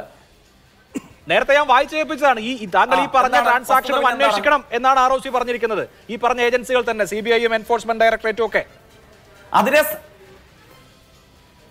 അയ്യോ- അതിനെ സംബന്ധിച്ച് എവിടെയാ ഫ്രോഡൽ എന്നത് പറഞ്ഞേ? എവിടെയാ ഡൂബിയസ് എന്ന് പറഞ്ഞേ? ആ പ്രയോഗം T V ഇണയുടെ Exalogic company A M C പ്രകാരം കൊടുത്ത കരാർ ബാങ്ക് അക്കൗണ്ട് വഴി ട്രാൻസ്ഫർ ചെയ്ത് ജി എസ് ടി അടച്ചു വാങ്ങിയ തുകയെ സംബന്ധിച്ചല്ലേ പരമപരിശുദ്ധന്മാരായിട്ടുള്ള കർണാടക ആർ ഒ സി ഫ്രോഡിലിന്റെ ഡൂബിയസ് എന്ന് പറഞ്ഞത്. കേരളത്തിൽ ബി ജെ പിയുടെ മുഖപത്രത്തിന് കാശ് കൊടുത്തതും രമേശ് ചെന്നിത്തലയും ഉമ്മൻചാണ്ടിയും ബി കെ കുഞ്ഞാലിക്കുട്ടിയും മറ്റാളുകളും കേരളത്തിലെ പത്രമാധ്യമങ്ങളും ക്യൂ നിന്ന് കാശ് വാങ്ങിയതും ഫ്രോഡിലന്റ് അല്ല ഡൂബിയസ് അല്ല. അതെന്താ? വെള്ളരിക്ക പട്ടണോ? ഇതല്ല ഇരട്ടത്താപ്പ്. അതിനെ ചോദ്യം ചെയ്യുമ്പോൾ പലർക്കും പൊള്ളുന്നു. അല്ല, മനസ്സിലാക്കേണ്ടത്? വസ്തുതാപരമായി തന്നെ ശരിയല്ല. ഞാൻ വേണമെങ്കിൽ ആ വാചകം ഒന്ന് വായിക്കാം. It is likely that the scale of dubious transaction may be much larger in C M R L ഒന്നുകൂടെ വായിക്കാം. The scale of dubious transactions may be much larger in C M R L C M R എല്ലിന് പണ്ട് മുതലേ ഉള്ള ഈ പറഞ്ഞ transactions ഒക്കെ dubious ആയിരിക്കും. അത് അന്വേഷിക്കണം എന്നാണ് ഈ ആർ ഒ സി പറഞ്ഞത്. അല്ലാതെ വീണ വിജയന്റെ ട്രാൻസാക്ഷൻ ഡ്യൂബിയസ് മറ്റേതൊക്കെ എന്ന കുഴപ്പമില്ല എന്നല്ല. ആ ഇപ്പൊ പറഞ്ഞ ശരി ഇപ്പൊ പറഞ്ഞത് നേരത്തെ പറഞ്ഞത് ഒക്കെ ഒന്ന് തന്നെയാണ്. അതായത് കേരളത്തിലെ മുഖ്യമന്ത്രിയുടെ മകൾക്ക് ആ അതായത് ടി വീണയ്ക്ക് എക്സാലോജി കമ്പനിയും സി എം ആർ എല്ലും തമ്മിൽ ആനുവൽ മെയിന്റനൻസ് കരാർ പ്രകാരം ബാങ്ക് അക്കൗണ്ട് വഴി സുതാര്യമായി ട്രാൻസ്ഫർ ചെയ്ത തുകയും ജി എസ് ടി അടച്ച തുകയെ സംബന്ധിച്ച് മാത്രമല്ല ഒരു രേഖയുമില്ലാതെ ഒരു ബാങ്ക് അക്കൗണ്ട് ട്രാൻസ്ഫറും ഇല്ലാതെ ഒരു രസീതുമില്ലാതെ കേരളത്തിൽ കോൺഗ്രസും മുസ്ലിം ലീഗും ബി ജെ പിയും ആരാധനാലയങ്ങളും മാധ്യമങ്ങളും കൈപ്പറ്റിയ പണത്തെ കൂടെ കുറിച്ചാണ് ആര് പറയുന്നത്? കർണാടക ആർ ഒ സി പറയുന്നത് അല്ലേ? അങ്ങനെ പറ. അങ്ങനെ പറ. അല്ലെങ്കിൽ അങ്ങയുടെ വ്യാഖ്യാനം തോന്നും. ഇത് ഏതെങ്കിലും ഒരു dubious വ്യക്തിയെ സംബന്ധിച്ച് മാത്രമാണല്ലോ എന്ന്. അല്ല മറ്റേ കാര്യം സ്പെസിഫിക് ആയി പറയുന്നുണ്ട്. അതിനുശേഷം ബാക്കി കാര്യങ്ങൾ പറയുന്നുണ്ട്. ഇതെല്ലാം ഇത് നമ്മൾ വെറുതെ ഒരു വാക്കിൽ പിടിച്ച് തർക്കിച്ചിട്ട് കാര്യമില്ല. ആളുകൾക്ക് മനസ്സിലാവുന്ന കാര്യമല്ല? ശരിക്കും ഒരു ഇടവേള എടുക്കാനുള്ള സമയം അതിക്രമിച്ചു. ഇടവേള.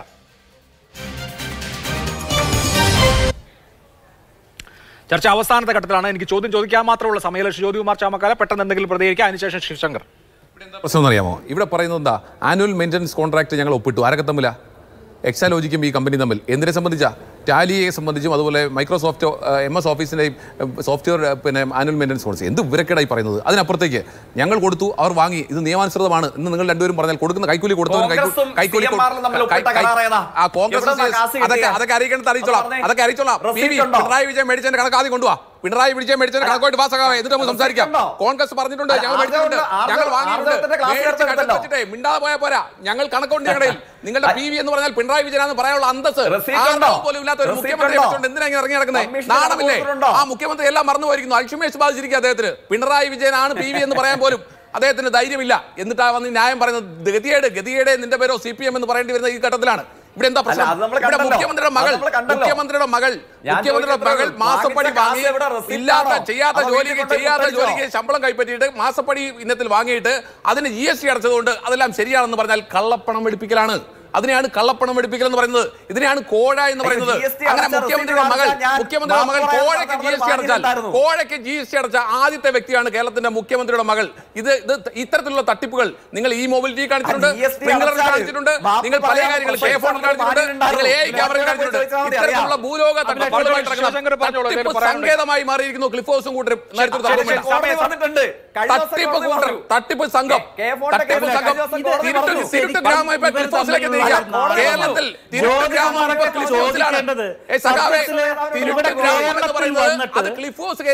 കേരളത്തിൽ വന്നിട്ട് രാജീവ് ഗാന്ധി ഈ സർക്കാരിനെതിരെയോ പിണറായി വിജയനെതിരെയോ അവിടെ എറണാകുളത്ത് മറൈൻ ഡ്രൈവിൽ പ്രസംഗിക്കാൻ വന്നിട്ട് ഒരക്ഷരം പറഞ്ഞോ? ശരി. ഒരക്ഷരം പറഞ്ഞോ.